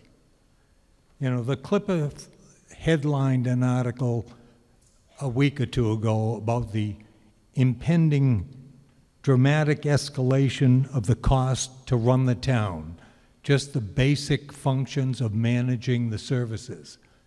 It's, we're on the front end of that escalation. And directly connected to that escalation will be a commensurate increase in the basic real estate taxes in town. So this CPA is just the tip of an iceberg that's growing bigger instead of melting. All right, it, it has to be put in context. We have this mushrooming of expenses facing us in every area. It's coming in the housing, it's coming in the heating of the homes, it's coming in the food, and not minuscule increases. As the financial advisor spoke earlier, it's coming and it's coming without a doubt. Now, I'd like to make one important point. All of the projects that have been viewed were done for the last 10 years at a 1% CPA tax. You know, we've been doing many projects in a very controlled fashion in terms of the 1%. We can continue doing projects at a 1% level. It has done the job, has done a very good job, obviously. So increasing it is really unnecessary. Increasing it will just raise the opportunity for projects that maybe aren't even warranted. We're managing the ship now at 1% very well. One other point, please. One of the slides showed that when the reduction uh, was achieved 10 years ago, there was, quote, a loss of $9 million of revenue. Well, you know where that revenue stayed? In the taxpayers' pockets. All right? It was not a loss. It has to be viewed in the right context. Discretion was mentioned. Yeah, discretion is best in your pocket if you're already managing a project very well. So, on that point, I would simply say enough at 1%. It does the job, and I would vote against this article. Thank you. Thank you. Are we ready for a vote?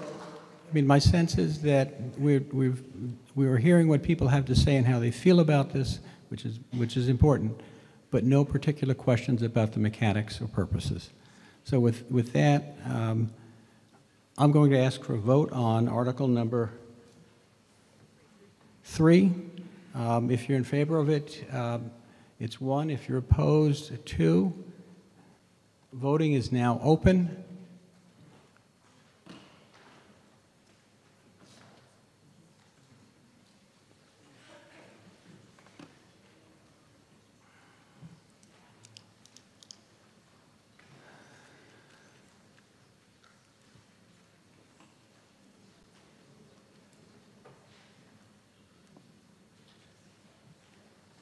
Voting is closed. And the article passes 279 to 80. 279 yes, 80 no. For, for the few people who might decide to leave, I'd ask you to please, please, please put your, return your voting device. It doesn't work to change your TV channel, it doesn't work on your garage, but it's valuable to us.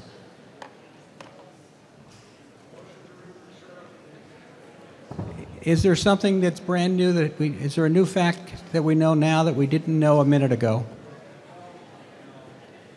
It, motion's out of order. I think, I think we'll wait just a couple of minutes before we start the next article. It's a little noisy.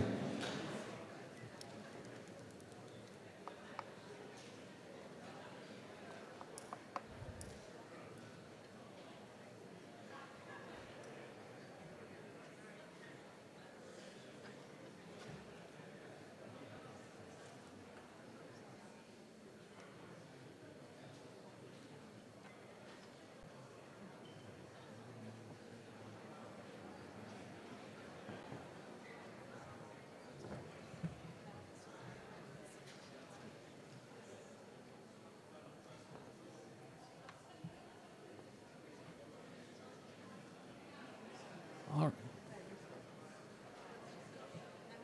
You ready? Okay.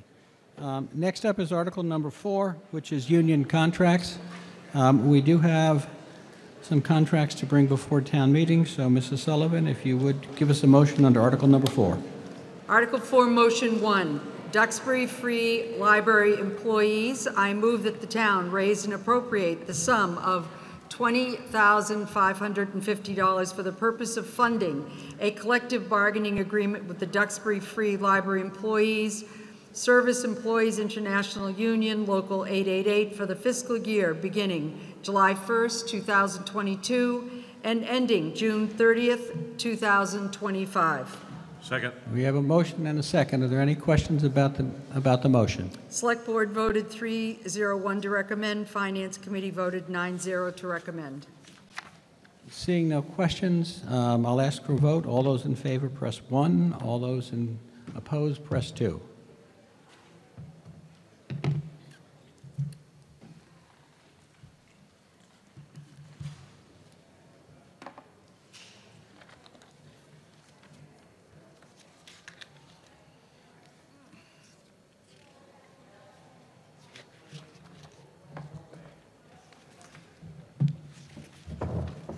Mo- Voting is closed. Article passes 128 to 27. 120, 120, I'm sorry, 128 yes, 17 no. 17 no. Mrs. Sullivan, the second motion for this article. Duxbury DPW employees. I move that the town appropriate the sum of $112,820 for the purpose of funding a collective bargaining agreement with Duxbury DPW employees, AFSCME Council 93, Local 1700, for the fiscal year beginning July 1st, 2022, and ending June 30th, 2025, and to meet said appropriation, raise and appropriate the sum of $93,520 and transfer $19,300, which shall come from the Water Enterprise Fund Reserve. Second. Selectmen voted 5-0 to recommend, Finance Committee voted 9-0 to recommend. Are there any questions or comments about this motion? Seeing none, I'll ask for a vote. All those in favor of it, press 1. All those opposed, press 2. Voting is open.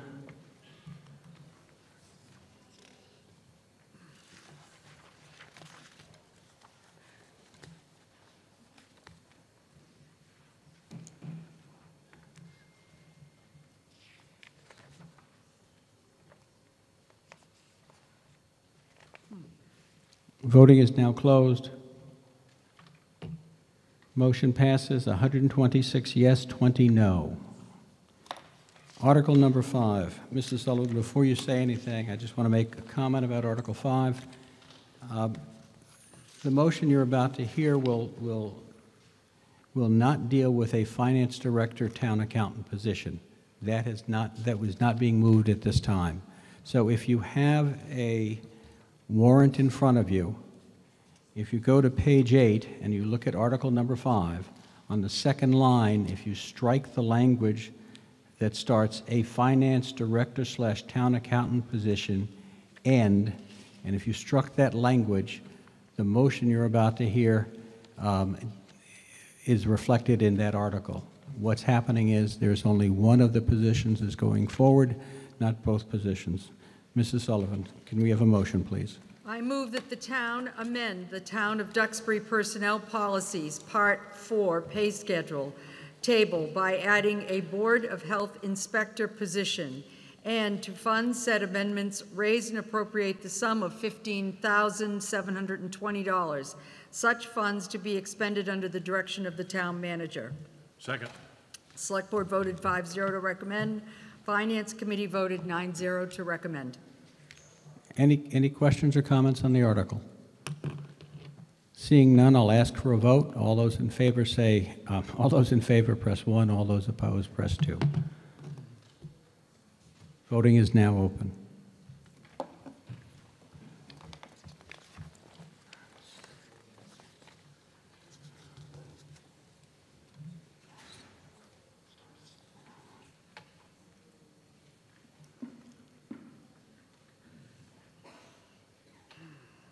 Voting is now closed. Motion passes 125 to 23, 125 to, to 23. Article 6, Mrs. Sullivan, and before you say anything, I just have a comment about it. Um, Two things. Um, This is for unpaid bills from the previous fiscal year. As everybody may know, the fiscal year ends on June 30th. The new fiscal year starts on July the 1st. If bills aren't in in a timely way, the way that they get paid is by taking those bills and taking them out of this year's appropriation, this year's budget. Um, In, and the other thing is, it takes a nine-tenths vote, a nine-tenths vote for this to pass because we're, we're paying last year's expenses with this year's money. So that having been said, Mrs. Sullivan, if you'll lead us. I move that the town appropriate the sum of $21,669.65 and transfer the sum of $21,669.65 from free cash to pay the following unpaid bills as follows. One, Lycar for the fire department, $249.34. Two, Ricoh Municipal Services, $263.09. Three, Ricoh for the DPW administration, $131.08. Uh, Four, Comcast Business for the cemetery department, $10.51. Five, Verizon DPW administration, $3,472.37. Number six, Complete Recycling for the transfer station, $175. Uh, Number seven, South Shore Disposal, Central Buildings, $13,213.51. Eight, Eversource Gas for the cemetery, $2,076.79. Uh, Nine, Troop Waste and Recycling, DPW Transfer Station, $482.96. 10, Advantage Drug Testing LLC, Human Resources, $749, $745, 745. Advantage Drug Testing LLC, Human Resources, $365. Number 12, Sullivan Tow- Tire, no relation. DPW Highway, $485, for a total of $21,669.65. Second. Select voted, Select Board voted 5-0 to recommend, Finance Committee 7-0 to recommend. Any comments or questions about this article? Seeing none, I'll ask for a vote. Again, it needs to be a nine-tenths vote. Um, If you're in favor of it, you'll press one, opposed, press two. Voting is now open.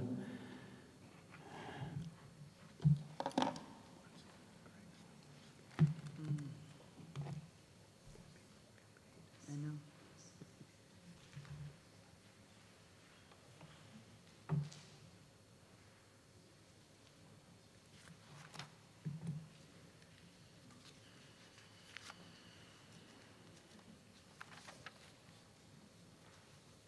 Motion passes 136 to 10. Thank you. I didn't even really need to do higher mathematics to make sure it passed. Article number seven, Mrs. Sullivan. I move to indefinitely postpone this article. Second.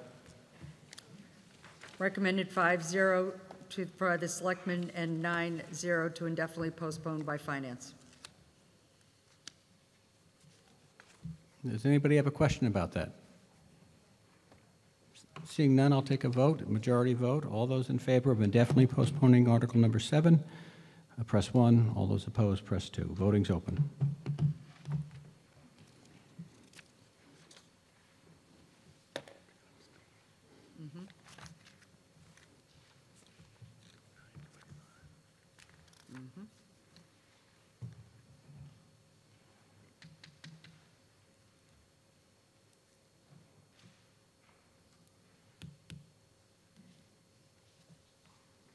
Motion passes 136 to 6, 136 yes, 6 no.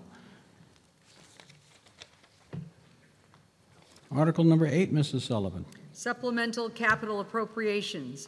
I move that the town appropriate the sum of $391,543 to supplement appropriations previously voted under Articles 6 and 7 at the annual town meeting of March 12, 2022, with an additional item from Article 6 of the annual town meeting of August 1st, 2020, for the fiscal year beginning July 1st, 2022, and to fund said supplemental transfer, to fund said supplement transfer from free cash, 391543 for the line items in the budgets of various town departments as follows. Article 6, Item 11, Police, Dispatch Console Replacement Update. It was budgeted for 41500 The adjustment is $873 for a revised capital budget of $42,373, funds from free cash. From Article 7, Item Number 4, Police, a utility trailer. The budget was 11,142. The adjustment is $4,101 for a revised capital budget of $15,243, money from free cash. Article 6, Item Number 12, Fire Department, to replace the Forest Fire Unit, the brush breaker. The budget was 488,000, adjustment is 37,636. Revised capital budget is 525,636. Original budget funded by borrowing, adjustment being sought to fund through free cash.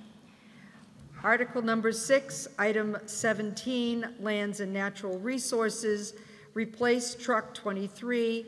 The budget was $300,317. The adjustment is $82,433.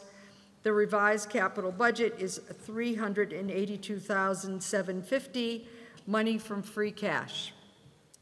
Line, article number six, item 23 from the cemetery, to replace the retort computers. The budget was $29,574. The adjustment is $4,500.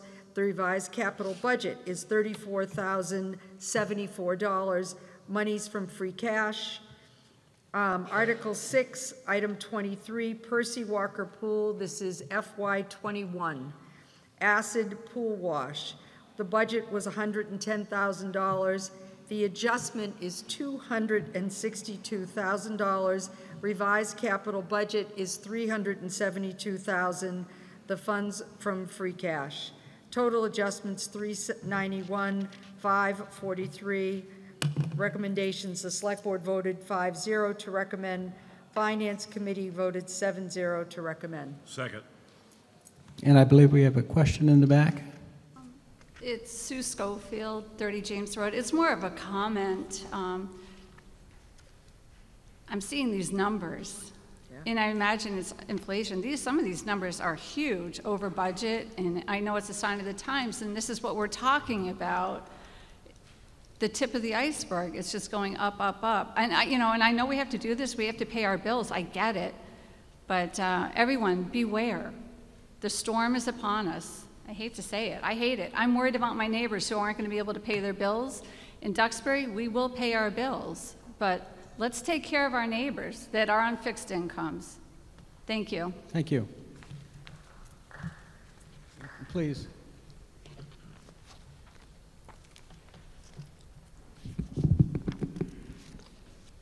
Hi, Eve Penoyer again, 59 Tussock Brook Road. Um, once again, I'm going to be the voice of um, fiscal conservatism. I'm socially liberal, but I'm very conservative phys- fiscally. It seems to me that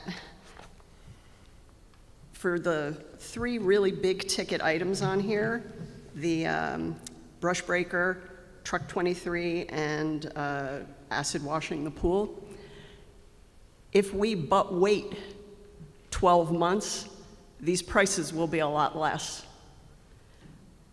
It seems to me none of these things could be so much of a critical emergency that we couldn't wait one year to expend for these capital expenditures, because at that point, with a recession, we'll be able to get these things at much lower cost. I want to make that point and urge that postponement of some of those three really big ticket items be considered.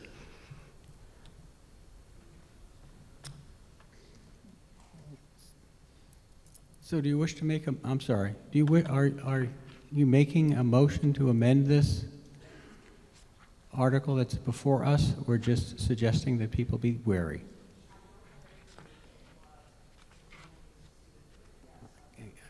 Can't hear you. I, I apologize, but I can't hear you. I do not have a motion to amend written, but if someone uh, can assist me to put it in writing, I would be happy to offer it as a motion to amend the article.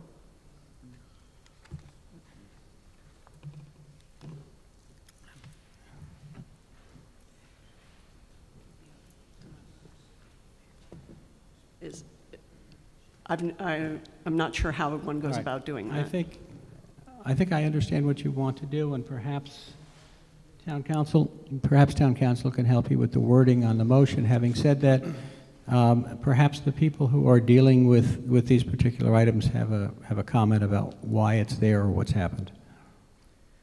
Hi, good evening, Rob Reardon, Fire Chief. Um, One of the items is the brush breaker, just to bring you up to speed on what's going on. Like you, we're seeing drastic increases. We've already signed to buy a brush breaker, so we've agreed to this. The cost on the brush breaker is $485,000. That doesn't include any equipment. So the money we're asking for is equipment. We actually signed the deal in April. We got pricing which was fairly decent, wasn't as good as we wanted. Um, but if we were to sign today, we'd look at a 14% increase from that 485,000. Um, so we have a brush truck that's coming without equipment. So I would ask that you please support the additional.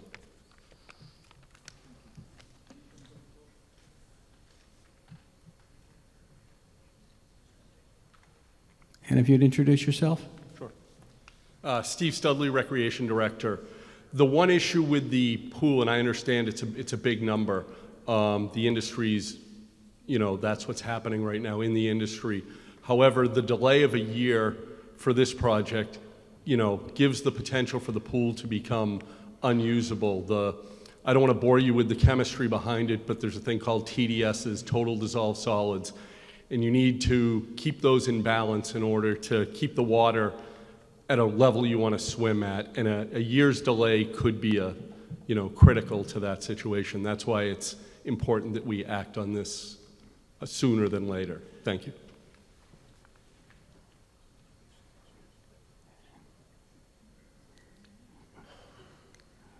Nice to see you back up here, Mr. Butkus. Good to be here, Mr. Moderator.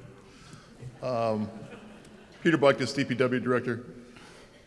The Truck 23 is our aerial lift truck, our bucket truck, which is kind of a critical piece of apparatus for us during storms and just doing routine maintenance, tree removals, so on and so forth. When we bring a capital vehicle to town meeting, we tr- always try to build in a contingency, um, usually around 10%, um, just to deal with price escalations. In almost three decades here, I've never seen uh, this type of increase for, for equipment.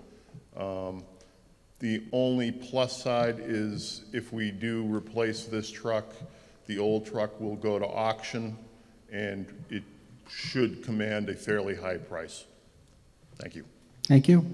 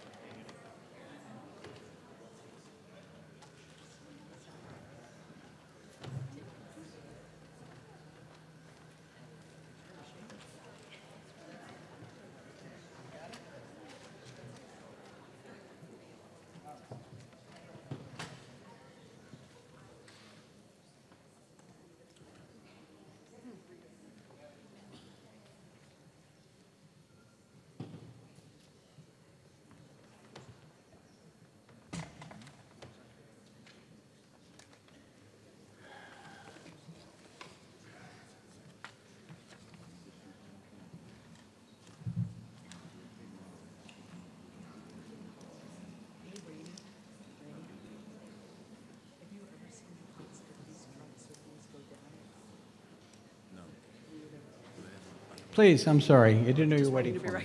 So we have a motion to amend um,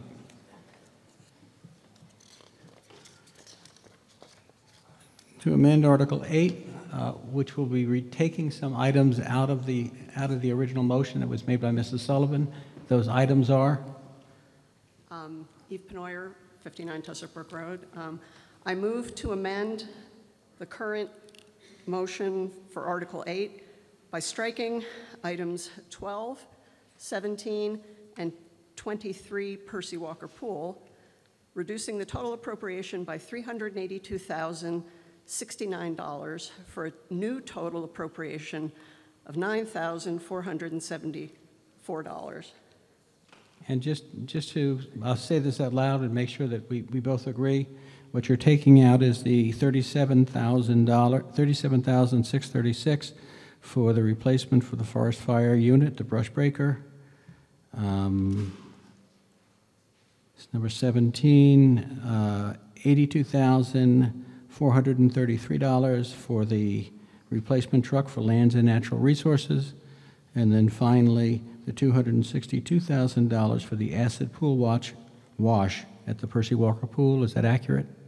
Uh, Yes, that is correct. That's my Okay. motion to amend. So we now, so we now have a motion to amend the article. I'm going to ask you to vote on that amendment. Oh, do, well, we'll let, we'll- we'll, we now have a motion, we now have a motion that's been seconded. If you vote, if you want to see those items reduced out of the budget, press one. If you're opposed to the amendment, if you want the article as originally made, press two for no. One if you're in favor of the amendment, two for, two for no.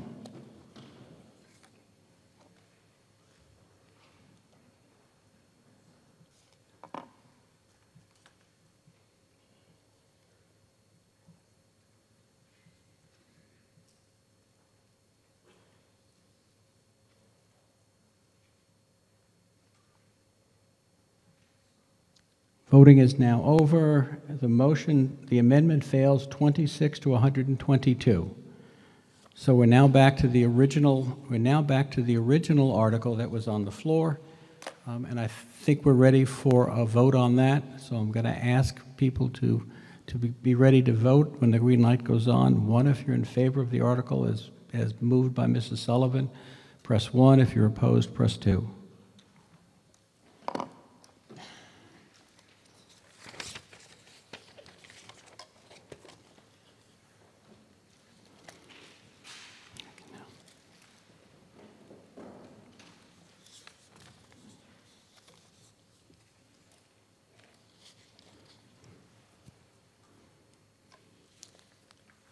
Voting is closed.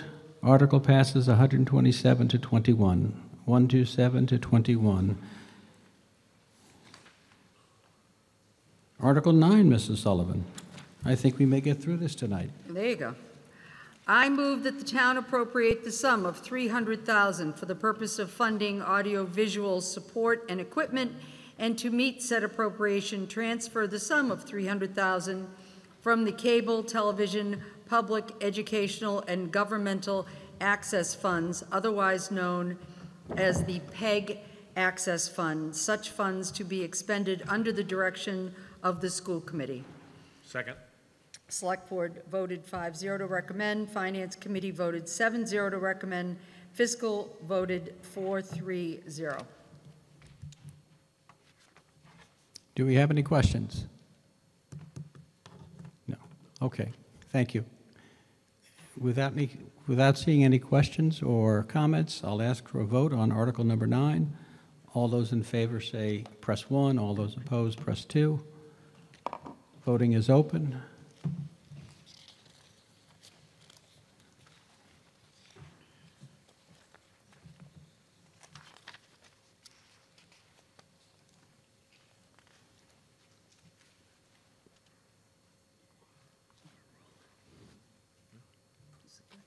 Voting is closed. Article passes 114 to 17. Article number 10, Mrs. Sullivan.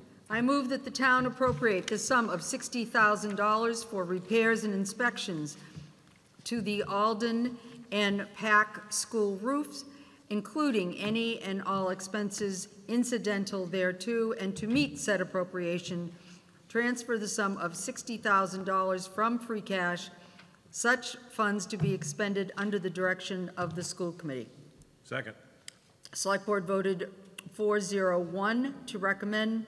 Finance Committee voted 7-0 to recommend. Any questions or comments out there? Seeing none, I'll ask for a vote. If you're in favor of Article 10 as presented, press 1. Opposed, press 2. Voting is open.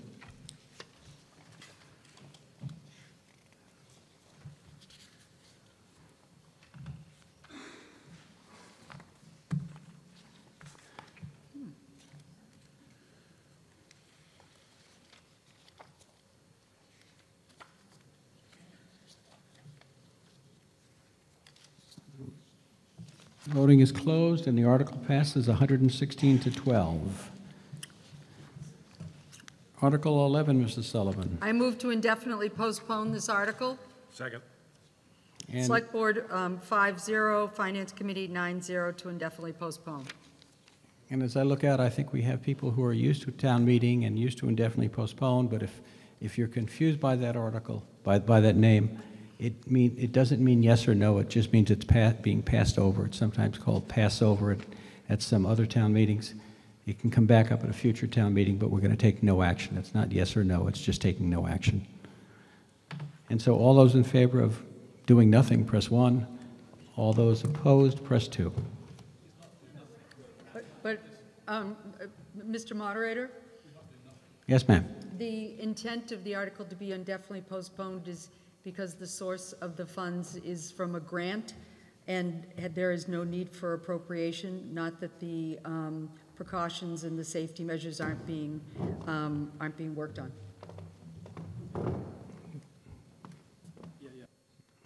And uh, furthermore, the Select Board uh, voted uh, this evening to authorize the use of ARPA funding uh, for this purpose, as town meeting approval is not required for the use of ARPA funds. So basically, we're getting the money to fund everything that's required for the schools uh, from ARPA funding and not uh, from taxation. So it's kind of good news. Uh, Applause from the back there, I like that.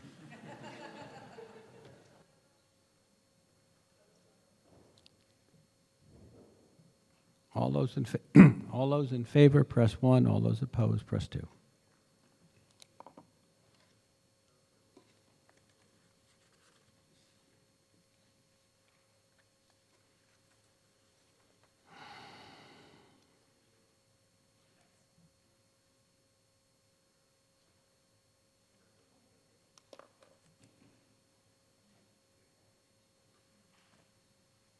Voting is now closed.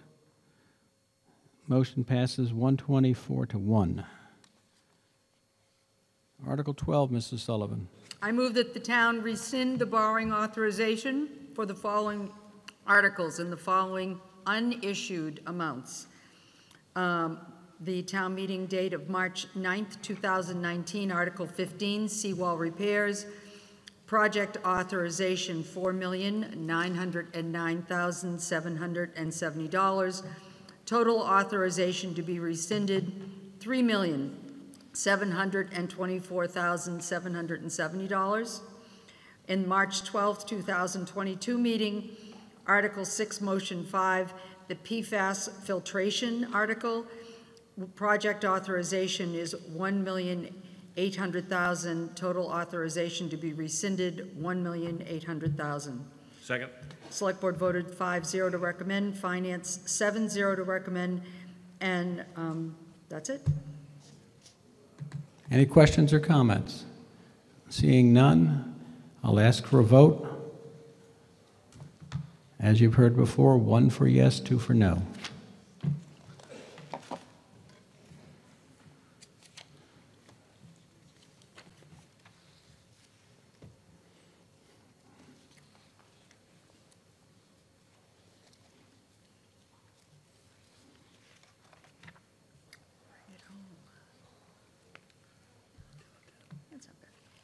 Voting is closed.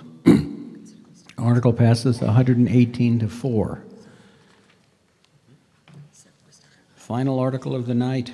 Mrs. Sullivan, a, move motion for Article 13. sorry. I move that the town, upon recommendation of the Community Preservation Committee, transfer $30,000 from the Community Preservation Historic Resources Reserve to preserve, stabilize, and prepare for sale the historic Isaac Simmons Farmhouse located at 761 Temple Street, to be expended under the direction of the town manager in consultation with the Historical Commission. Second. Select Board vote 5-0, Finance 9-0 to recommend. Do we have any questions or comments? Sensing there are none, I'll ask for a vote on Article 13. All those in favor, press 1. All those opposed, press 2. Voting is open.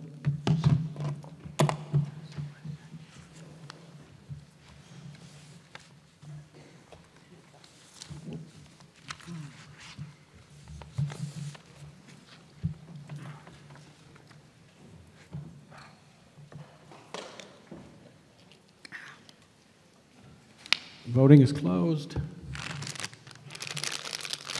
Motion passes 102 to 17. Um, That now concludes the the business for the special town meeting. I want to thank people who came out and stayed to the end and helped the town do the important business. Uh, And so I will, I will entertain a motion to adjourn this town meeting. Sonny Die. So moved. Second. All those in favor say aye. All those opposed? The ayes have it, the mo, we are adjourned.